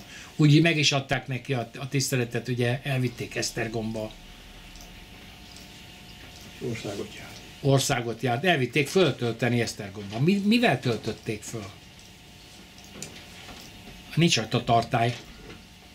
Mivel töltötték föl? Rezgéssel, úgy van. Azzal töltötték föl, ami nincs. Azok a gravitációs hullámok, azzal töltötték föl. És megadták neki a királyi tisztességet, azt hozzáteszem. Tehát helikopterekkel, hajókkal kísérték végig Esztergomig. Tehát nem csak úgy odavitték egy kocsiba, berakták a csomagtartóba, aztán dzsú, bevitték, jó van. Egy ilyen őrzővédő elvitte, visszahozta, kész. Nem ez történt. Így van? Így van. Jó mondom. Mert hogy ez van, hogy elvitték, igaz, hogy hátrafele vitték be a koronát a par- parlamentben, na jó, de hát ez egy dolog, tehát há- hátramenetbe vitték be, parancsol. Gábor azt mondta, így volt jó, mert az egyébként Máriának a képe volna ott a, a hátulján. Igen. És hát akkor Máriával vitték. be. Máriában, ez Mária országa, így, így, a Gábor lehet, hogy jót talált ki, mert a Gábor nagyon jókat szokott, ma a Pap Gáborról van szó, nagyon jókat szokott kitalálni, nagyon jókat szokott előadásokat tartani, nálunk nagyon sokszor volt a táborba előadni, és e, tehát itt van a, a kutyaelásva, hogy, hogy a koronánkon, ez nem látszik eléggé messziről, megnézzük melyik látszik. Ez se látszik. Na majd akkor még egy. Az biztos jó. Ez már jobban látszik talán. A koronánkon ilyen pártaelemek vannak, ugye? Tessék majd megnézni, hogy a vízelemnek a tetején itt egy rózsaszín van, a tűzelemnek a tetején meg egy ilyen hosszúkás és világos kék. Tessék csak jobban megnézni. Miért van az ott? A női meg a A női meg a férfi, úgy van. Csak tessék majd azt is észrevenni, ami nagyon-nagyon fontos, hogy ilyen pikkelyes a minta rajta. Nem jól rajzolom, na mindegy. Tehát mint a halpikkely olyan minta van rajta. Na most ez pontatlan, de a lényeg akkor is az van, hogy, hogy tessék jól megnézni a színezését, ami nem látszik, ha bemész a parlamentbe, miért nem? Szembefény van. Mert transzlucid, transzlucidva is, hogy amikor a fény hátulról éri, csak akkor látszik, erősebb fény hátulról éri, Áteső fénybe. á, áthaladó fénybe, látszik csak ez a szín, egyébként grafit szürkének látszik a fényképeken, mert ez egy speciális, nagyon is speciális színszűrő, tehát ilyen nem könnyű ilyet csinálni, csak úgy mondanám, ami az avatáskor jelenik meg, hogy az színes. Amikor azt te színesnek látod, a király fején, akkor az azt jelenti, hogy elfogadta az Isten a királyt. Akkor, amikor fölteszi, elfogadta. Ezért nem mert a második József fölrakna a fejére. mert félt, hogy begolyózik, mint ahogy néhány hallgató meg is tette. Tessék, parancsolj. Nem fehérbe látja, nem fehérbe Nem fehérbe látod. Nem, az ha transzlucid, az hátulról látvilágítja, kék, világos, ilyen kékezöldnek, meg ilyen kékes színűnek lehet látni a, a színeit, és a, a tűzelembe pont fordítva. Tehát ez a háromszögletű a tűzelem, abban is ilyen pikkelyek vannak, csak hogy az az érdekessége, hogy itt a itt kék-zöld, mondjuk itt meg zöld-kék. Tehát fordítva van a két színezés. Kim van a weblapomon a korona, beírott, hogy korona, talán megtalálod a weblapomon, ki van téve színesen is, meg fekete-fehéren is, vagyis, hogy nem fekete-fehéren, hanem, hanem szemből lefényképezve a szürkének látszik, átvilágítva is megvan, ott meg kéknek és zöldnek.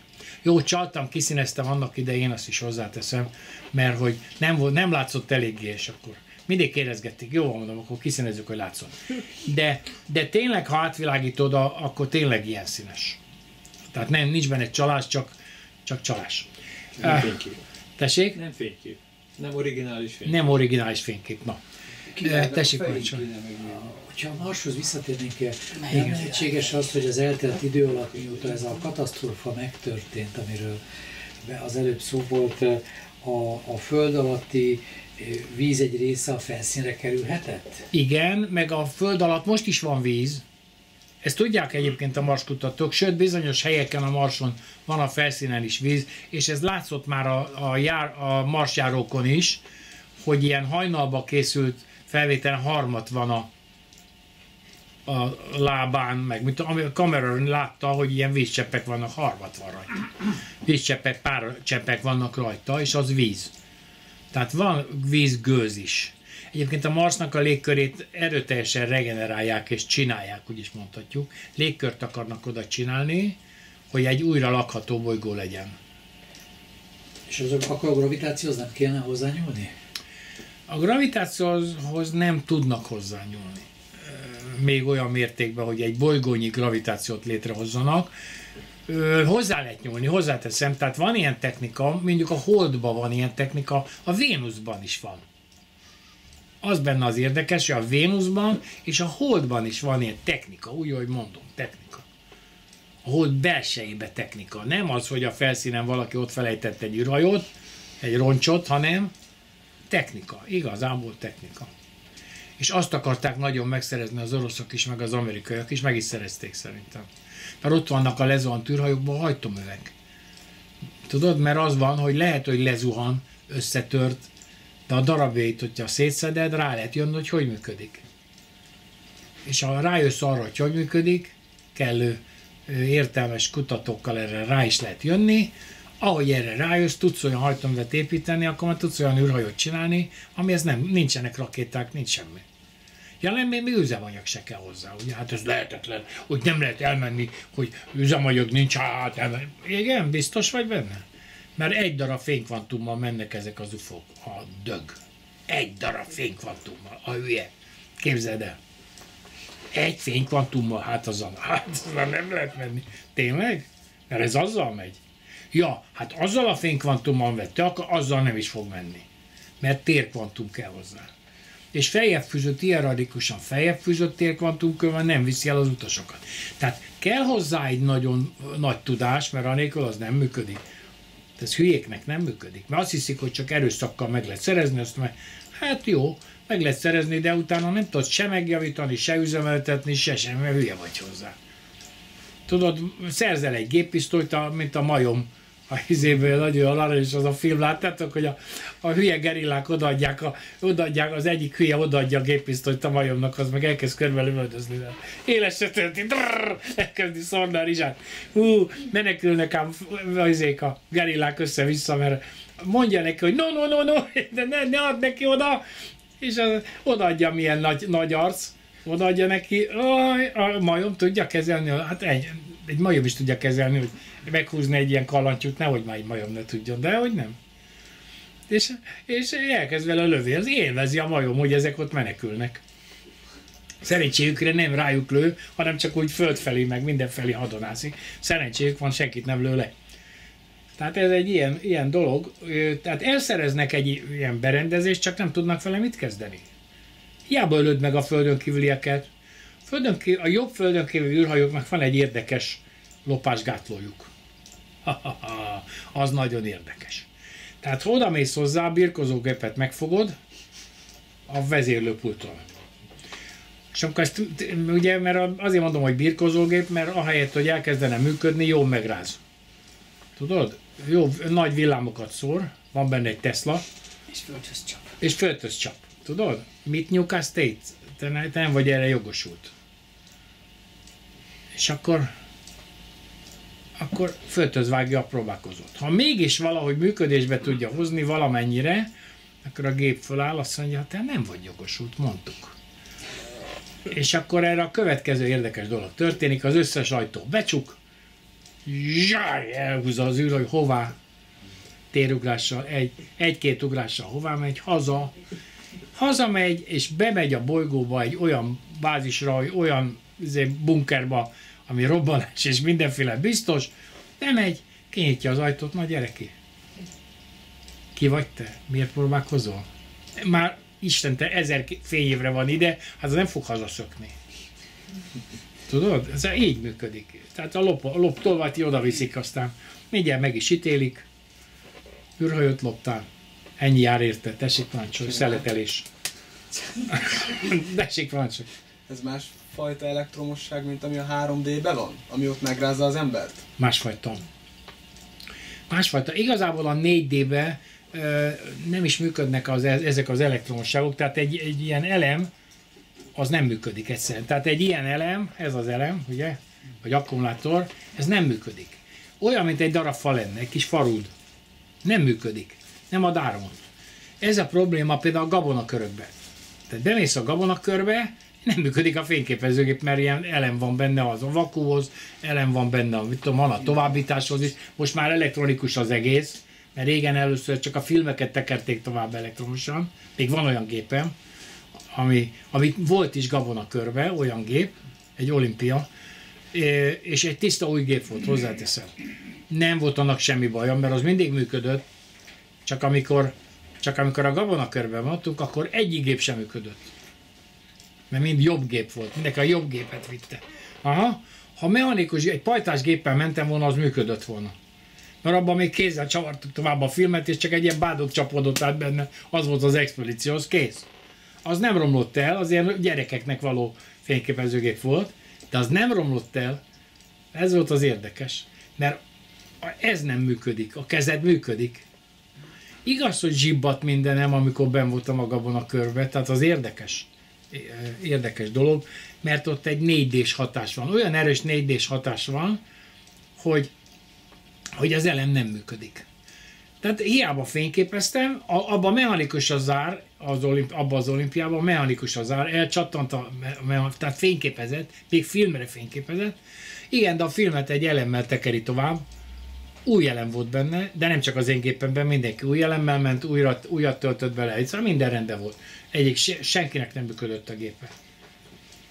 Ugye, mert hogy az elemek olyanok voltak, mint egy fadarab. De ha kijöttél a gabona körből egy mét, egy-két méterre elmentél tőle, minden működött. Tudod, azzal, hogy a két vicces diák letapossa a füvet, ez nem történik meg. Pont. Érted? Ez biztos, hogy nem. Viccelődős diákok letaposták, értjük? Érdekes módon az, mi, az első kérdésem az volt a viccelődős diákokhoz annak idején, ilyen műsor, tévéműsorban, hogy, hogy és hány karót vertetek le? Azt mondja, hát egyet a közepében. Mondom, nem jó, mert ovális volt a kör. E, ovális volt. Annak két fókuszpontja van, ugye? Tehát nem egy, egy, mert az egyik irányba 35 méter volt, a másik irányba 36 méter. Nem értem. Mérőszalaggal. És, és ilyen széle volt neki. Tehát nem a viccesködő diákok, ahogy letaposták, hanem olyan széle volt neki, hogy rajzolt, éles, tiszta határa volt neki. Nem az volt, hogy, hogy... Na arról nem is beszélve, hogy a gabon alatt megvoltak a vetési barázdák. Ami az egésznek az egyik kulcsa, az a vetési barázda, amikor elmegy a csoroszja, a vetőgépnek a csoroszjája elmegy, akkor ilyen kis árkokat húz. Ilyen kis sűrűn, ilyen árkokat húz, ahogy veti a, a búzaszemeket. a, föld, a földpuhított földbe veti a búzaszemeket. És ahogy, ahogy a, veti, ott maradnak ilyen tarajak. Na most, bocsánatot kérek, úgy nem lehet vicceskedni, hogy a tarajak megmaradjanak, 1000 négyzetméteren. Mert ha 35 métert megnézed, akkor az, az hány négyzetméter? Hm? Sok. Egy 35 méter átmérőjű kör, az, az tessék csak kiszámolni, az bizony már nem vicceskedő diákok által csavarhúzóval megigazítottuk, persze 1000 négyzetmétert vagy 500 Ó, persze, tudjuk. De több tornateremnyi nagyságú izé, vagy, vagy egy tornateremti nagyságú területet te csavarhúzóval mind megigazította, hogy ne. És, ja, és egy gabona sincs benne eltörve És repültél közben. repülték közben, mert, mert különben nem tudsz úgy menni, hogy ne repedjenek el a gabonák, mert rámész a, a szalmaszára, rálépsz, először is hát beletaposod a, a gabonát a földbe. A csillám rárakodik a földről, és amikor, ha föl is áll egy kicsit a gabona, akkor is csillog rajta a csillám. Tehát a föld, azok a földpártok csillognak. Egyszerűen csillognak, nincs mese, csillognak és ezek a csillogó kis szemcsék azok rajta vannak a gabonán. Vannak a, a szél által is ráhordva ilyen szemcsék, de ha letaposod, akkor sokkal több van rajta. A szemmel látható a különbség. Ez az egyik. A másik, nincs eltörve egy szemgabona se, a, a könyököknél van elhajolva, tehát vannak ilyen, ilyen ízelsülések a gabonán, ahol a leveleke, levelek erednek. Az ott van elhajolva így, Érted? Szóval, szóval itt, ha jól megnézed ezeket a helyszíneket, akkor utána rájössz, hogy hát tudod, nagyon jó a szkeptikusnak, hogy ő nem hisz benne, csak ő nem ért semmihez. Csak azért nagy arcoskodik, hogy neked ne legyen igazad. Tessék, Azt parancsolj. akarom mondani, hogy a gabonának a története április közepétől június közepéig, nem is olyan nagy idő. Igen. Bármelyik nap, bármikor, bármelyiket próbálja az ember elhajtani, semmikor nem tudja. Mindig el. Semmikor nem tudja, mindig eltörik, pláne rálépsz. Így van. Ha rátaposol, úgy, úgy nem Hát lehet, bizony, mert azt mondták, hogy gólyalábakon bementek, és már ilyen hülyeséget találtak. Én mondom, persze, de akkor meg ott maradnak a lukak. És Tehát- mindez sötétben is. És mindez sötétben, a vicces gyerekek ezer Elemlámpával négyzetmétert hibátlanul elemlámpával. Persze. Persze, hogy ne. Erre vagyok, hogy persze, hogy ne. Aztán fölébredsz, hogy Billy belóg a kezed. Tehát, hogy mert ha meglátja a gazdája, hogy te ottan taposod lefelé a gabonát, akkor vasvilával úgy megkergeti, hogy azt se tudod, hogy anyádig szaladsz. Érted? Hát na, náhogy megkergette, letaposod a gabonáját. Mert te ott vicces, vicceskedsz. Jó van? Te? Aztán utána ajánlották ezeknek a srácoknak, hogy vicceskedjenek, csináljanak még egyet. Ők kifizetik ezt a... Nem vicceskedtek. Nappal is csinálhatta volna, azt nem vicceskedtek. Mert er- arról szól, hát valami akadémikus nagybácsi, azt hiszem csillagás lett az egyik, valami akadémikus nagybácsi ottan ezért felúszította a gyereket, hogy ezt kell hazudni, azt kell csinálni. Nem tudtak mit kezdeni vele. Egyszer nem tudtak mit kezdeni vele. Akkor Magyarországon ez akkor jelent meg. És aztán utána rengeteg ilyen gabona ábra keletkezett, volt amelyikben ilyen 400-nyi gabona kör volt. Egy hatalmas ábrában, szóval, és körülbelül 250 méter átmérőjű ábrába, negyed kilométer, azért hozzáteszem, hogy egyik végéből nem látod már majdnem a másikat, a negyed kilométer, ez nagyon sok. Egy nagy hosszú utcasarok, nagyon hosszú utcasarok. Tehát már messzire van nagyon tőled a másik oldala. Hogy te azt hogy tudod olyan precízen megcsinálni, hogy ne legyen sehol csámpás, meg görbe, meg á, Sötétben. sötétbe, tessék parancsolj. Mi a funkciójuk a gabonakörök? Tanítás. Az a funkció, hogy tanítsanak minket. Csak nem vagyunk rá hajlamosak, mert hülyék vagyunk a végtelenség. Tessék parancsolj. egyet szeretnék mondani, az, hogy az a gabona körben, amit ufók csinálnak, beérik a kalát. Abba beérik a karászt, le is, Nem, le is nem lehet aratni, sőt, utána ott nagyobb lesz a termés általában utána, mert hogy jóvá teszik azt, amit ők csinálnak, beérik a kalász. Nagyon érdekes volt a, a, a gabonakörös időkben, utána ez a, a, szok, a nagy székesfehérvári mizéria után, utána Balaton Szepezden is volt egy ilyen gabonakör, a Kandónak a üdülője ott van Szepin, és az én alattam lévő szomszéd, Isten nyugosztalán meghalt szegény, az ott nyaralt minden nyáron, mert ott dolgozott a kandónál. Az a kandó az itt van mellettünk, jól ismerek egy csomó tanári karból is, egy jó pár embert meg. De, na most a, és az volt az érdekes, még a vezérigazgató is járt nálam itt. Csak úgy, tehát, hogy ismerem őket. És mi volt a lényeg, hogy ezek, ezek ott nyaraltak. A következő érdekes dolog történt. A, az egyik éjszaka, aznap éjszaka, amikor a gabonakör keletkezett, egy zaptáblában volt. Nem buzzatábla volt, zaptábla volt. Ott voltam másnap, vagy harmadnap, harmadnap talán. Ott voltam a keletkezés után. De már le volt aratva. És egy érdekes dolog volt, az egyik ilyen szobában, az üdülőnek az egyik szobájában a, észrevette a két gyerek, gyerekszobának tartották az egyik kisebb szobát, hogy a szülők nyugodtan ketyintessenek egyet a, a gyerekeknek külön szobája volt, és egyszer csak az anyuka észrevette, hogy fény van a másik szobában, bizonyára nem aludt, mert hogy valamiért nem aludt, és észrevette, hogy a másik szobában egy kékes, mint a hegesztenének olyan erős fény van a szobában. Na most ez már úgy érdekes volt, mert azért a fölkapcsolták a lámpát, akkor nem volt ilyen erős fény. De ez azt vette észre, hogy ilyen kékes, zöldes, nagyon erős, vakítóan erős fény van a sz- a gyerekszobában. Persze berohant a gyerekszobába, mint a, az Rényi kirohant, berohant a gyerekszobába, hát per egy normális anya az mit csinál? Hát berohan és megpróbál megmenteni a gyerekeit. Ég a szoba, vagy mit tudom, mi volt az ő anyába. És berohant, és a következő érdekes dolog történt, ez a kék színű köd így, így eltűnt. De nem egy pillanat alatt tűnt el, hanem ilyen összement egy ilyen gombozba, és, és eltűnt. De látta eltűnni. A világító ködött. 4D-s állapot volt a szobában. Valamit csináltak a gyerekekkel, vizsgálták, nézegették, mit tudom, mit csináltak, de 4D-s állapot volt a szobában. És ilyen nagyon sokszor van. Amerikai skifikben is megjelenik ez a nagyon erős fény a szobába, ez sok helyen megvan, de ezek nem fantáziáltak, ezek tényleg megtörténtek, és ráadásul ott volt a gabonakör mellette, az üdülőtől talán 200-250 méterre ott volt egy zaptábla, és az, abba ott volt a gabonakör. Ott voltam, lefényképeztem a, még nekem valahol még megvan talán az a fényképem is, amit a szomszédom csinált erről a gabonakörről.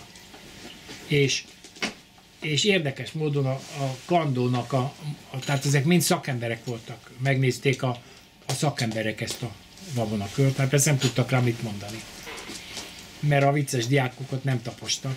Ez ilyen, olyan volt, hogy egy nagyobb kör, meg négy kisebb kör, azt hiszem így ilyen volt. Tessék parancsolni. Ismerek egy ide kapcsolódó érdekes ufós történetet, egy budapesti katona, amikor Érden dolgozott ott a lokál, az égi, mi az irányi, légirányi. Ismertem a parancsnokát.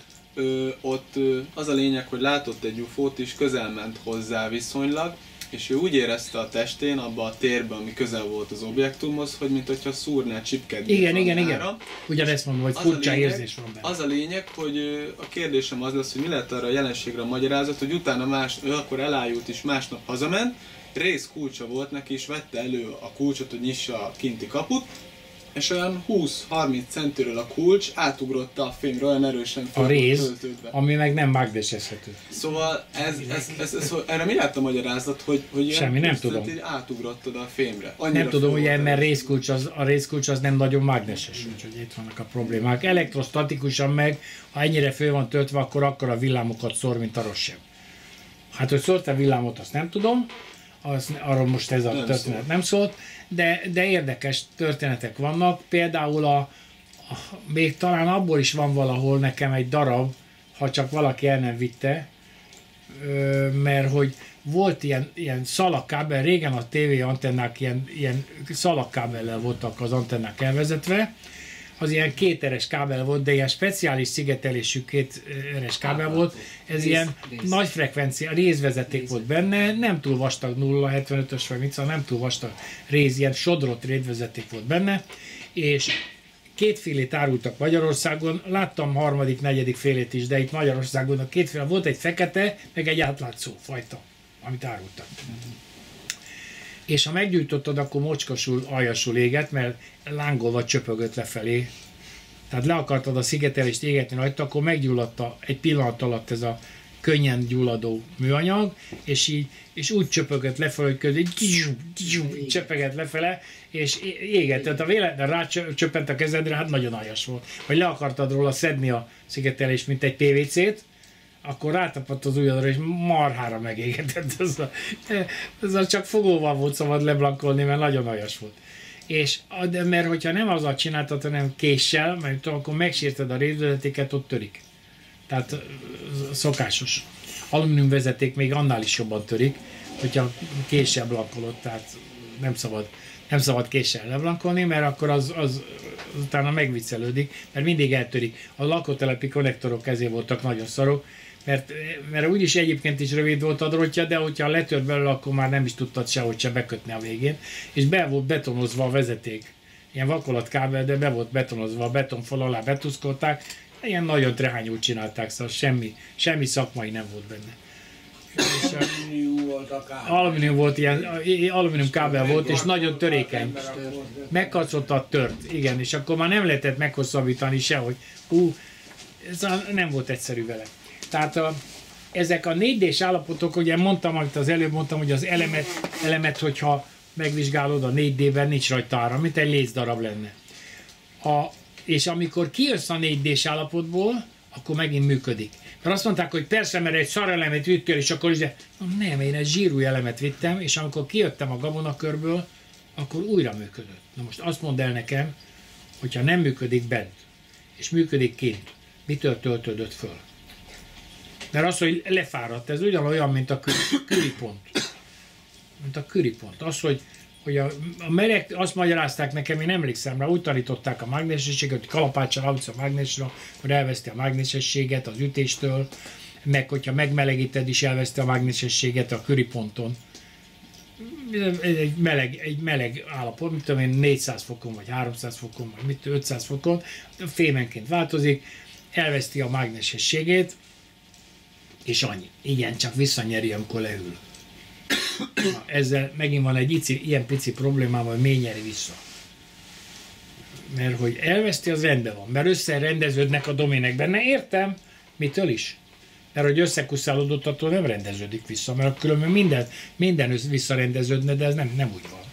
Tehát ez a domén elmélet is csak egy ilyen elég sirány magyarázata a mágnesességnek, hogy vannak ilyen kis szemcsék a mágnesban, még befordulnak, és mágnesek is. Amikor egy irányba állnak, akkor mágneses, amikor összevisszállnak, nem annyira mágneses. Hát mondom, hát ez se egy igazán jó elmélet. Van egy elmélet, amit te elmagyarázol, nem annyira jó. Mert ha még atomi szinten elmondanád, hogy egységbe állnak benne az elektronpálya, valamilyen elektronpályák, bizonyos anyagoknál hajlamosak, hogy egységbe álljanak, mert az interferencia rendszer ezt el lehetővé teszi, akkor nagyon erős mágneseket lehet csinálni, és ezek a nagyon erős mágnesek, ezek általában nem is vasmágnesek. Tehát nem, nem ferromágneses jelenségről van szó. Mert a ritka földfémek azok nem, nem ferromágnesesek.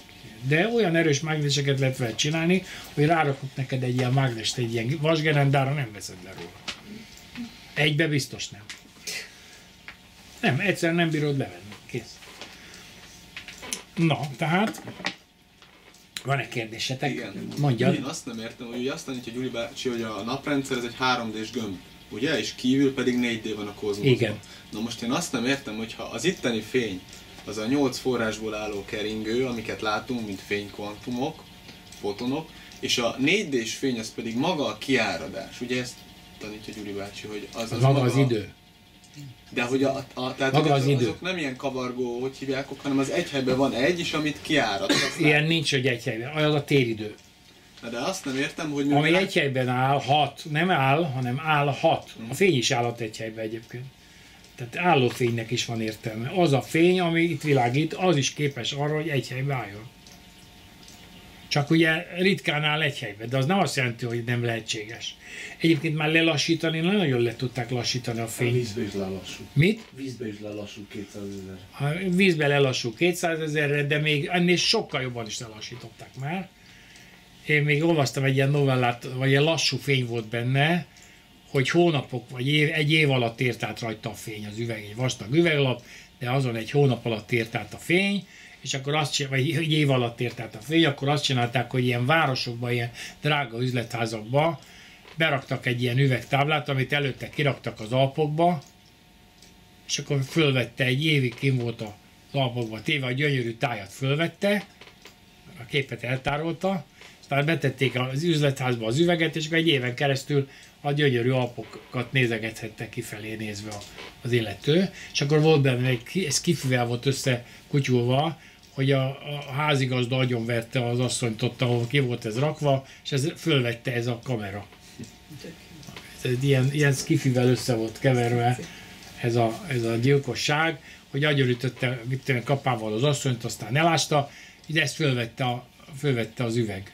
De erre nem gondolt, mert hát ugye agyilag zokni volt és nem gondolt rá, mint ahogy a, a boltokban mennek azt a webkamerák mindenhol veszik fölfele, hogy hogy lopkodnak.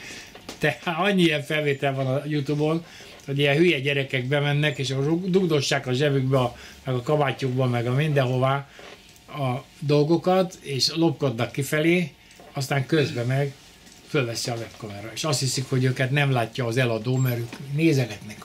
Elment hátra, ah, most, most, és akkor telepakolja a zsebeit, érted? Ez közben ott van felvétel róla.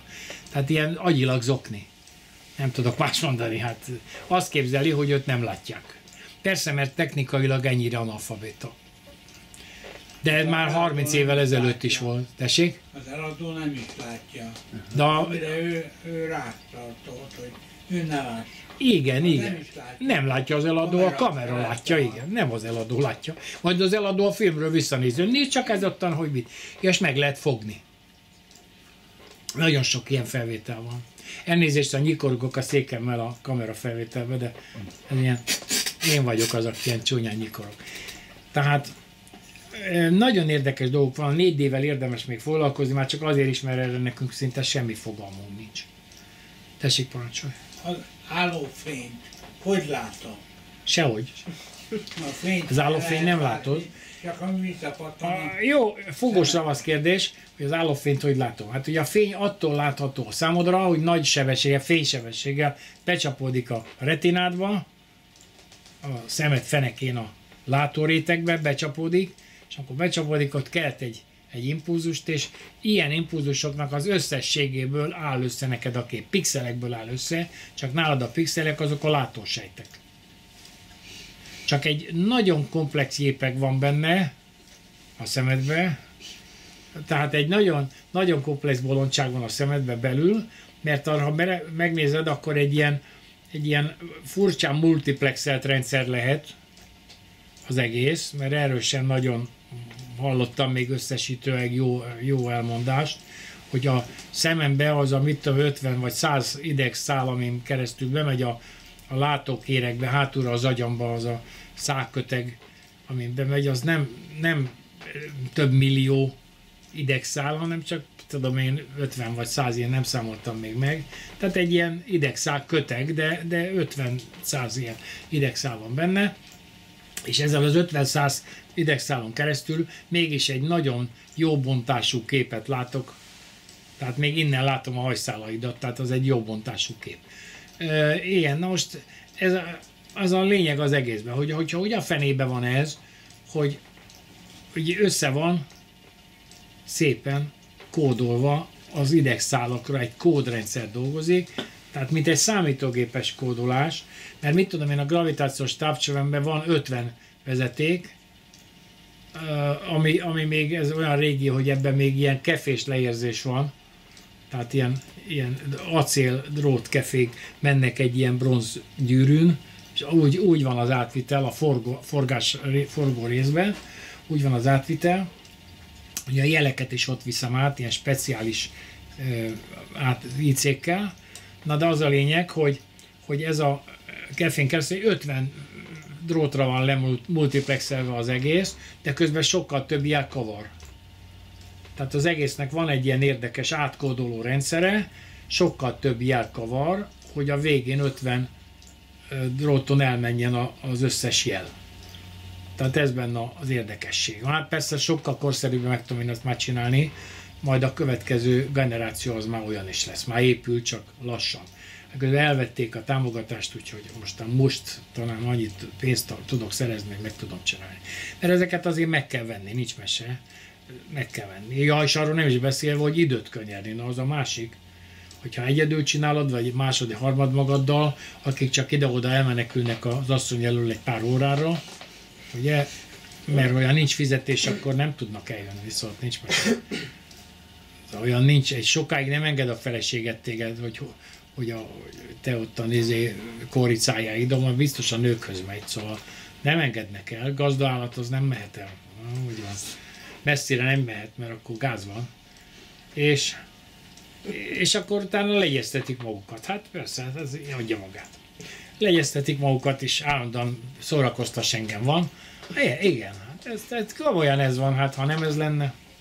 Én már higgyétek el, már én 20 éves korom óta nős vagyok, és higgyétek el, én már, már, már 73 éves vagyok, higgyétek, 53 év alatt már megtapasztaltam mindent a nőkkel kapcsolatban, amit csak lehetett. Nagyon érdekes volt, szóval tanulságos és érdekes volt hozzá.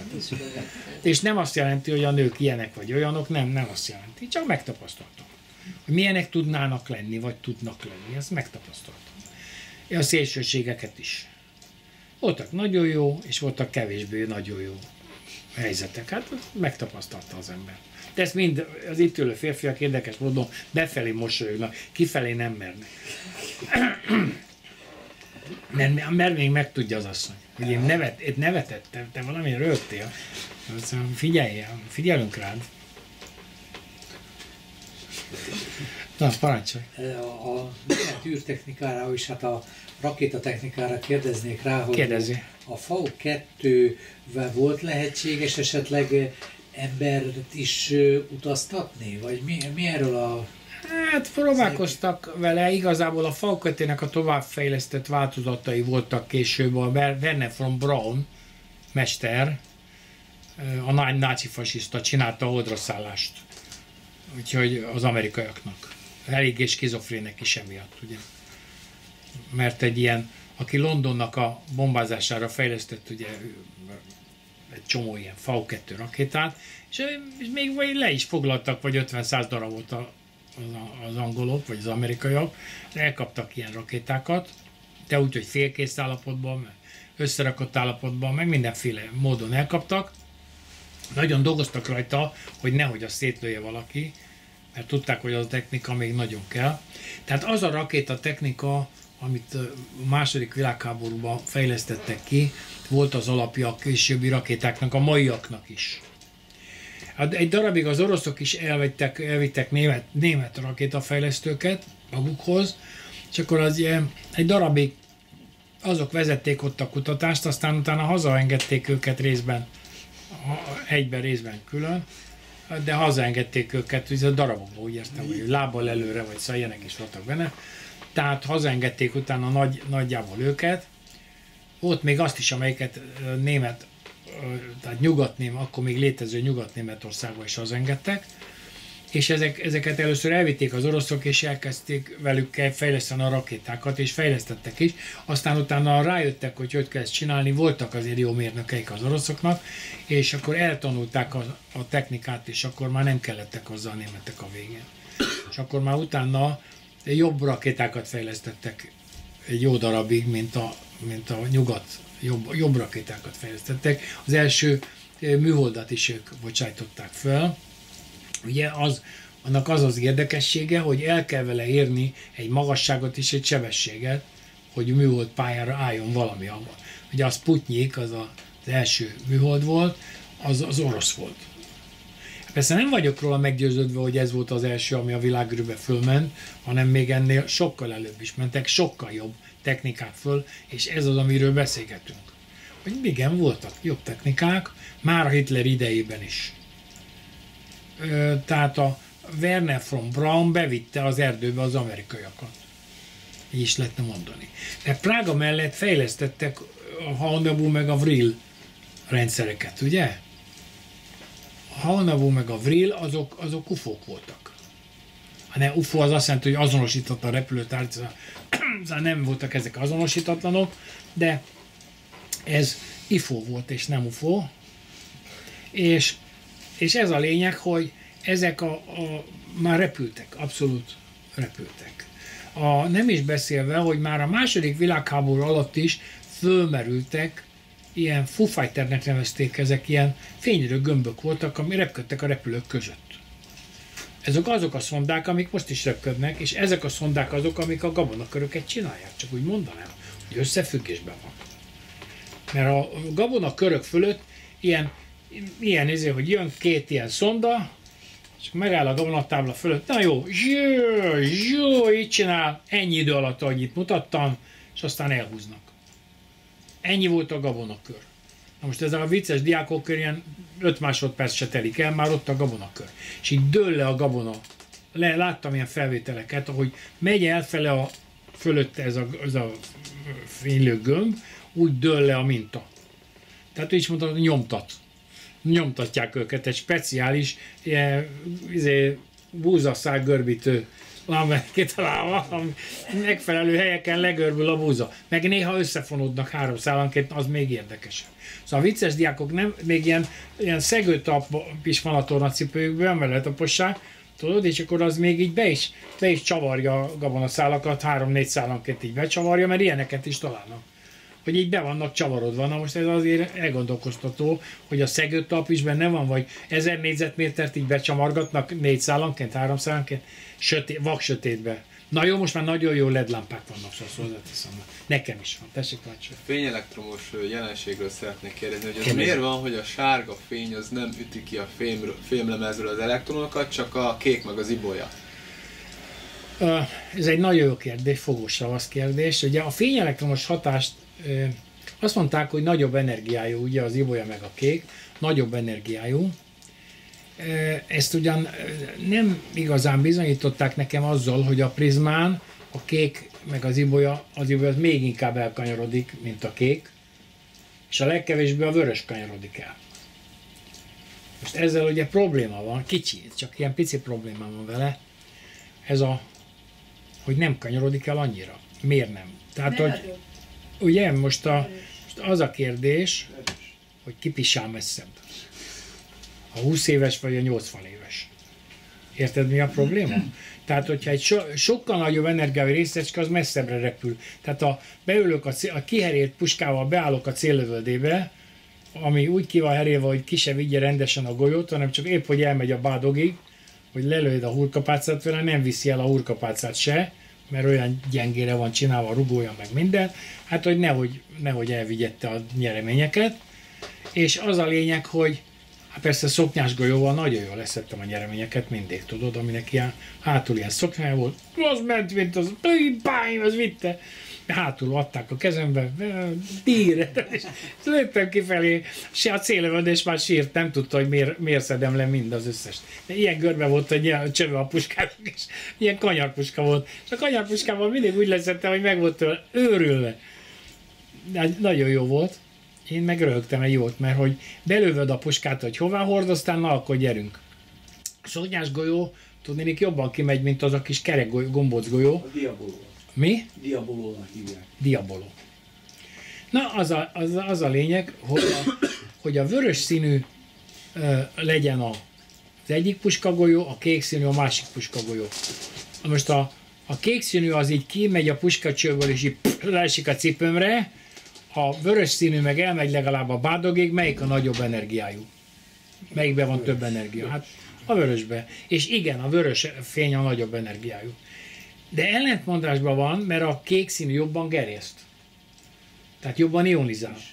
És ezért a fényelektromos hatásnál ugye a, az elektronokat meg a protonokat is eltalálva hozzáteszve nem csak az elektronokat gerjeszti, hanem a protont együtt gerjeszti a, gerjeszti a saját elektronjával, mert ez mindig együtt van a kettő, csak erről nem tud még a fizika, és össze is vannak egymással kötve, mert egymást keltik és a nem tér nem időn keresztül vezetnek ezek az időszálak, amin keresztül nagyon, nagyon bonyolult technikáról van szó.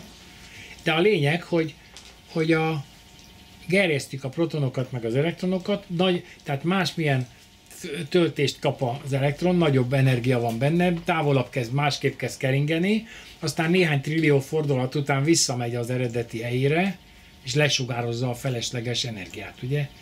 Túl sok fény ment bele, akkor azt mondja, most már nekem ez nem kell, és eldobálja, visszatér szépen a nyugalmi állapotba. Tehát ez a feltöltöm elektromosan, gerjesztem ezt az atomot, azért kisül elektromosan, mert több ionizált atom lesz, az a több ionizált atom azt jelenti, hogy, hogy megjelennek a Valencia sávban olyan elektronok, amelyek jobban vezetnek. Tehát nem jobban vezetnek, vezetnek. Tehát ezek vezetnek, és, és ezért, mivel a jobb, jobban, több elektron van, ezért jobban, jobban sül ki az egész, és kisülnek. Tehát a fény, tehát egy fénytárcsát, hogyha megvilágítok kék színű fényjel, föltöltöm előtte, mint egy elektroszkopot, és lent van egy ilyen kis könnyű elem, ilyen kis könnyű papírka, amit szétáll, és akkor utána föltöltöm egy fésűvel, vagy akármivel ezt az elektroszkopot, de egy ilyen tányér van rajta, és ha megvilágítom ezt a lapot a tetején, aminek, ami nem sarkos, hogy ne rögtön süljön ki, megvilágítom egy erős fényel, egy lézerrel, vagy egy erős fényel megvilágítom, akkor, ha kék színű fényel világítom meg, akkor hamarabb csukodik össze az elektroszkóp, mint a vörös színű fényel. Miért? Ez a kérdés, hogy miért? Mert a kék színű fény jobban be tud hatolni az atomok belsejébe, meg kisebb. A hullámhossza is kisebb, nem? Hát ugye kisebb a hullámhossza, a kéknek majdnem fel annyi, ugye 760 nanométer, meg 300 nanométer, ugye hát 400 nanométer, tehát hogy kisebb, fel akkora körülbelül a, a hullámhossza neki, az azt jelenti, hogy maga a fénykvantum átmérője is kisebb. A fel akkora a fénykvantum jobban be tud halad- haladni a neutronok, protonok pikkelje alá. A neutronoknak a pikkelje alá kevésbé megy bele, mint a protonok pikkelje alá, mert a protonok gerjesztett állapotban lévő atomok, a neutronokban pedig a, a pikkelyek le vannak csukodva, mert hogy ne, nincsenek még gerjesztett állapotban, és az atomokban nehezen is gerjesztődnek. Tehát az benne az érdekes, hogy ott az interferencia összép csukja még jobban a neutronokat, és ezért tudnak ott megmaradni. Különben elbomlanának az atomok. Tessék, parancsolj! Azt szeretném kérdezni, az elektronnak a tömege változik meg, amikor a fény belekerül. Az elektron tömege is megváltozik, meg a proton. jelenséget? A kettő tulajdonképpen, a, mivel mondtam, hogy a proton és az elektron az egy részecske, csak gerjesztett vagy gerjesztetlen állapotban lévő részecske, amikor gerjesztetlen, akkor neutron, akkor semleges lesz, amikor gerjesztett állapotba kerül, akkor proton és elektronra válik szét. Ez egy reverzibilis folyamat, az azt jelenti, hogy vissza lehet fordítani a folyamatot, tehát vissza lehet tuszkolni az elektront a protonba. Ez leírták az atomfizikában, utána lehet nézni. Oda-vissza nyíl van a képletbe, az azt jelenti, hogy ki lehet venni, meg be lehet tenni fényt a dologba, és mindig a fényjel variálódik, csak nem értik. Azt gondolják, hogy fényje alakul. Hát persze, mert a fénynek is van tömege. Hát ha kijön belőle, meg fog változni a rendszer tömege. Hát kijött belőle a fény, és elszállt a francba. Érted? A, de a logikus az egész, teljesen logikus. Csak így mutatja magát a világ, ordítozik, nagyokat ordítozik. Szervusz, meggirég, láttalak. Tessék, parancsolj. A kvantumugrás szerint az Oda elektron... bejöhetsz. Köszönöm, de csak beszaladtál. Ja, szaladtál, jó.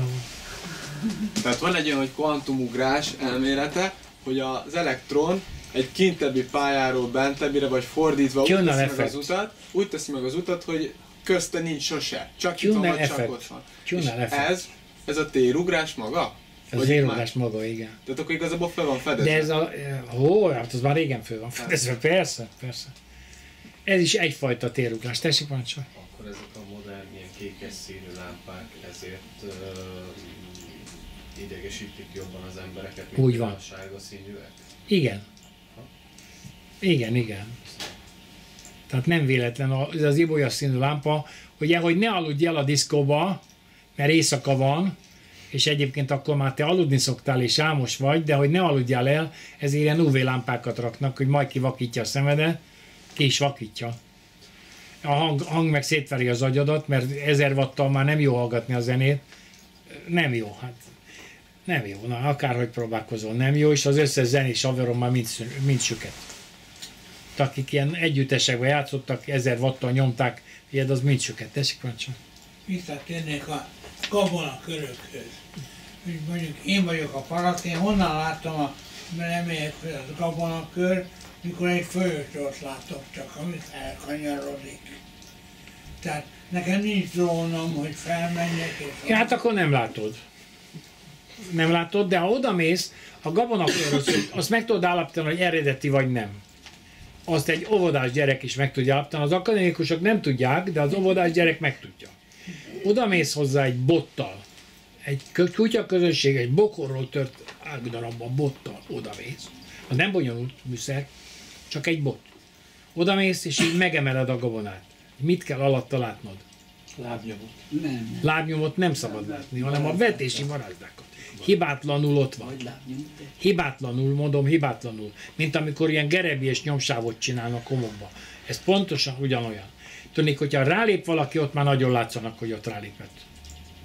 Nagyon látszik. Nem, nem lehet azt félre magyarázni semmivel. Megemeled, ha ott vannak a vetési barázdák, azon ember fia nem járt. Tehát magyarázhat, amit akar. Száját lerak, szépeti, akkor sem, akkor sem járt rajta, mert csavarhúzóval nem fog 1000 négyzetmétert lineárisan viszállítani, hogy én belenézek a belenézek így a földre majdnem lefeküdve, és látom, hogy a gabonatábla túloldaláig nyílegyenesen megy tovább. Nekem ne akarja megmondani, hogy ő nyílegyenesen beúzgálta a csikokat.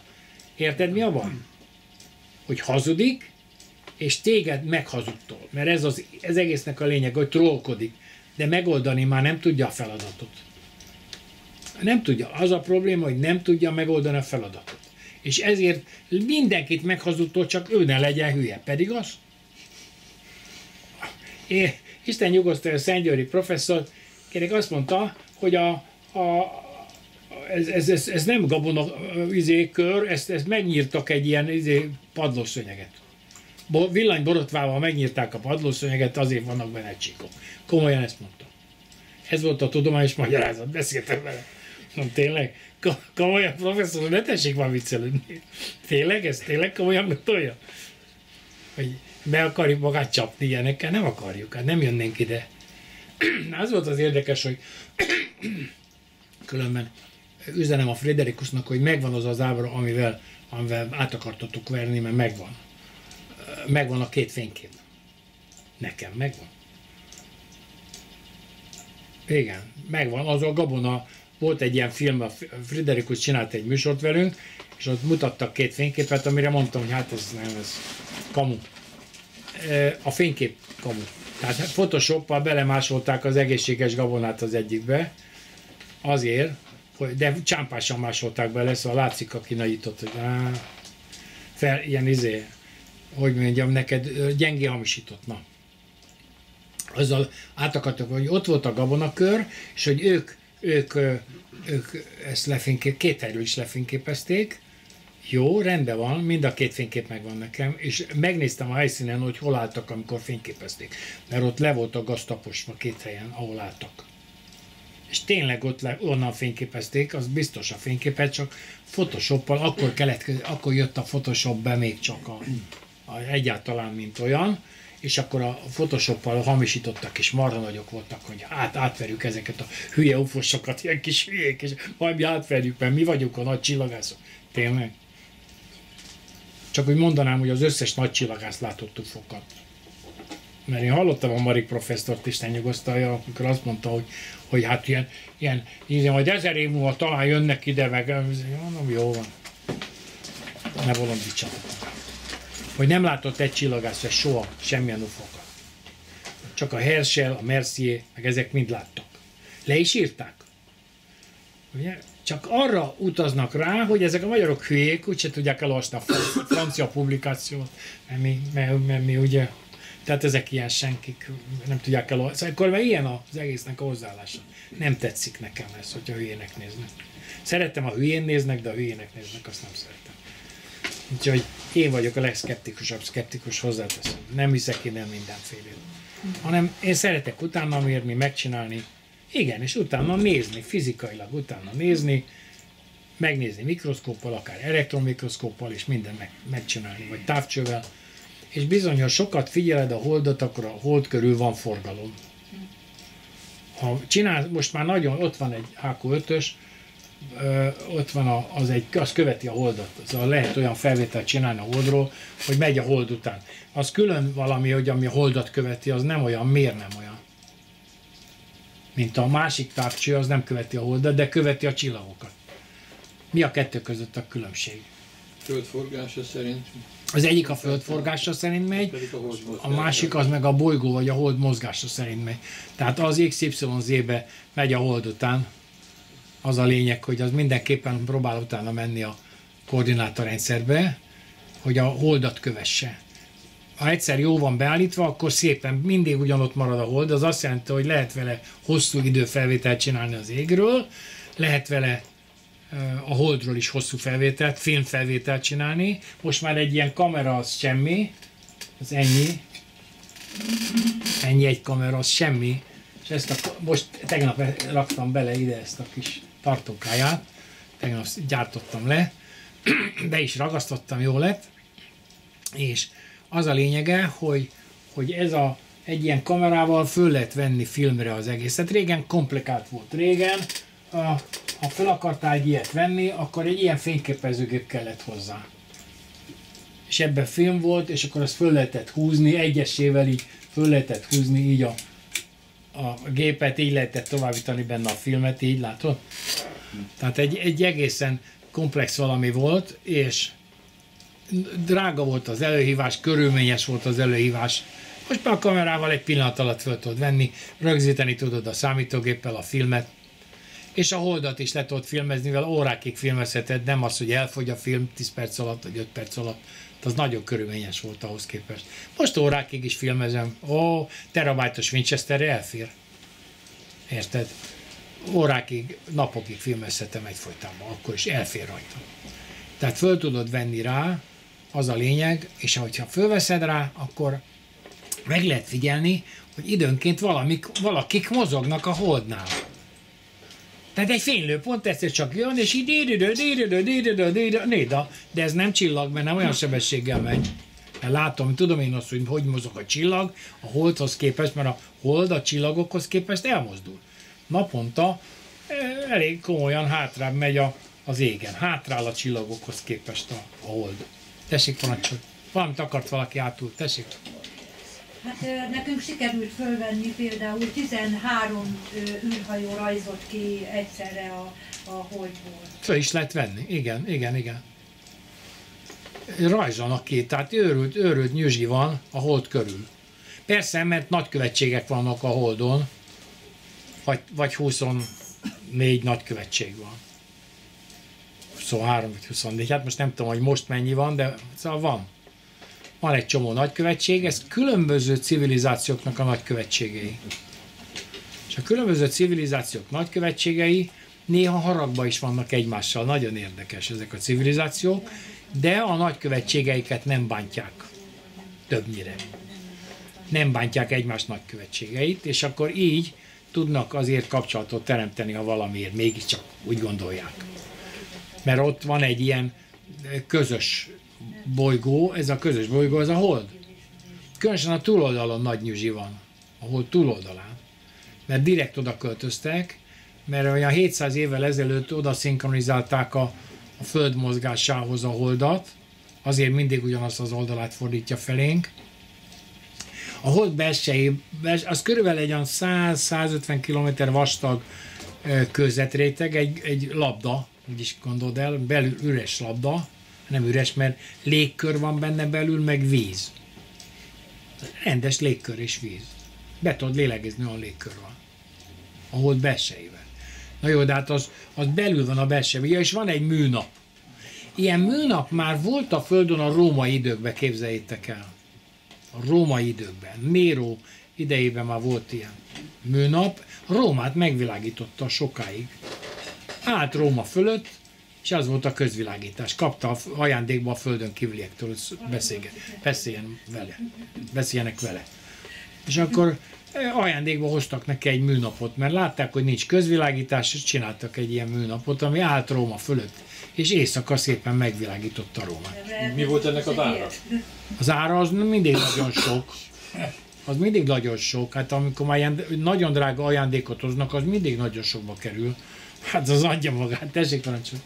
Hogyha a világűrnek a nagy részében négy dimenzió van, akkor hogy lehet az, hogy mi látjuk a csillagokat, hogyha az itteni fény az más? Nem látjuk. Kintről nem látjuk, igazán nem látjuk. Ha van egy határa, az olyan 100 aura van ide, a 100 csillagászati egység. A csillagászati egység az egy gumi egység, mert a napföld távolság nem azonos. mindig, ugye, ugye, akkor az azt jelenti, hogy ez egy gumiegység, gumimértékegység, mert 150 millió kilométer átlagos távolságra vagyunk a naptól, na de hol több, hol kevesebb, mert hogy elliptikus pályán kering a Föld, akkor ez meg milyen mértékegység? Úgy szar, hogy van. Hát most nem azért mondom, csak úgy mondom, hogy ez, ez az AU, ez a csillagászati egység, vagy csillagegység, vagy hogy mondjam.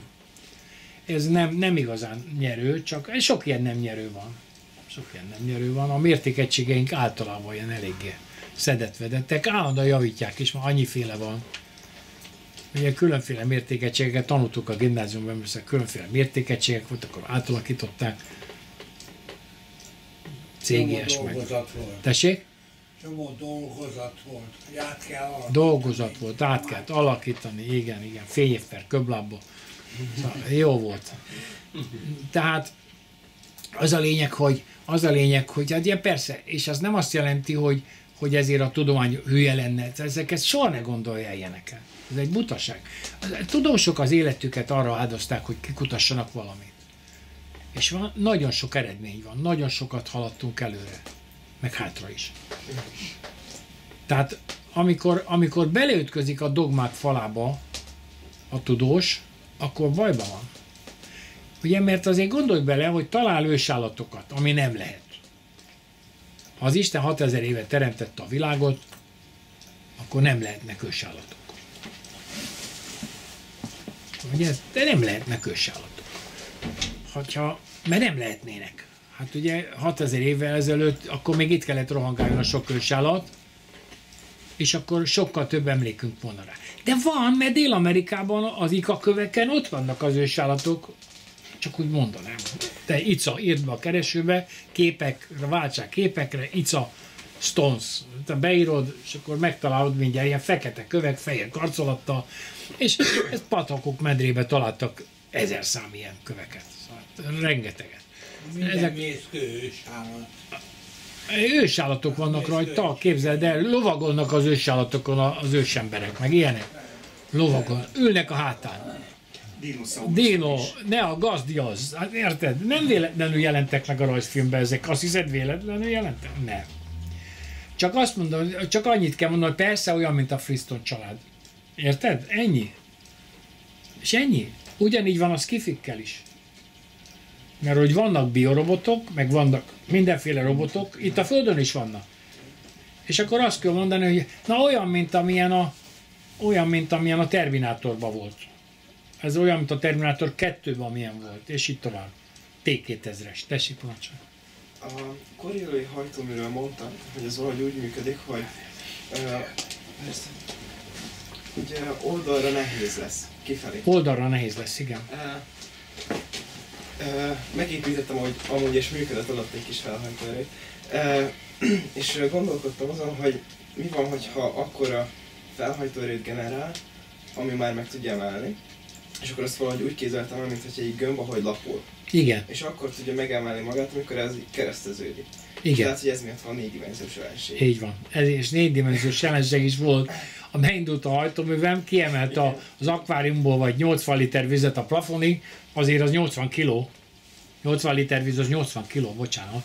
Ezt megemelte a plafonig, az, az erő. Nem mondom, az nem kis erő.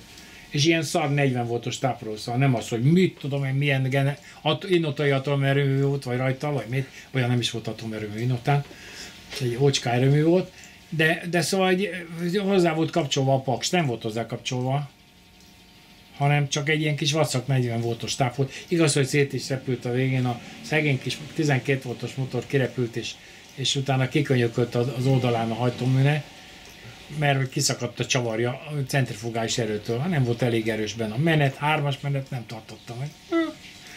Áldozatok nélkül nincs veszteség, szoktam ilyenkor mondani. Csináltam erősebbet, ott van a sarokba, meg lehet nézni, hogyha tényleg, érdekelt titeket, akkor ott van, meg lehet nézni. Van ott egy mágnes motor is, félig szétszedett állapotban, azt is meg lehet nézni. Ami, ami működött különben, és ha jól ránézel, akkor ilyen né- több hajtószínak való hely van rajta. A, a, ugye nem került volna rá ilyen tárcsa, hogyha nem működött volna. Tehát működött. És ez az a, a speciál, az a mágnesmotor, a speciál a, a KFK-ban készült. Igen, igen, ott készült. Csak az volt a munkalapon, azért Fushiba csinálták, és a, az volt a munkalapon, hogy TM. PM. Hát perpetuum mobile, persze, persze, persze.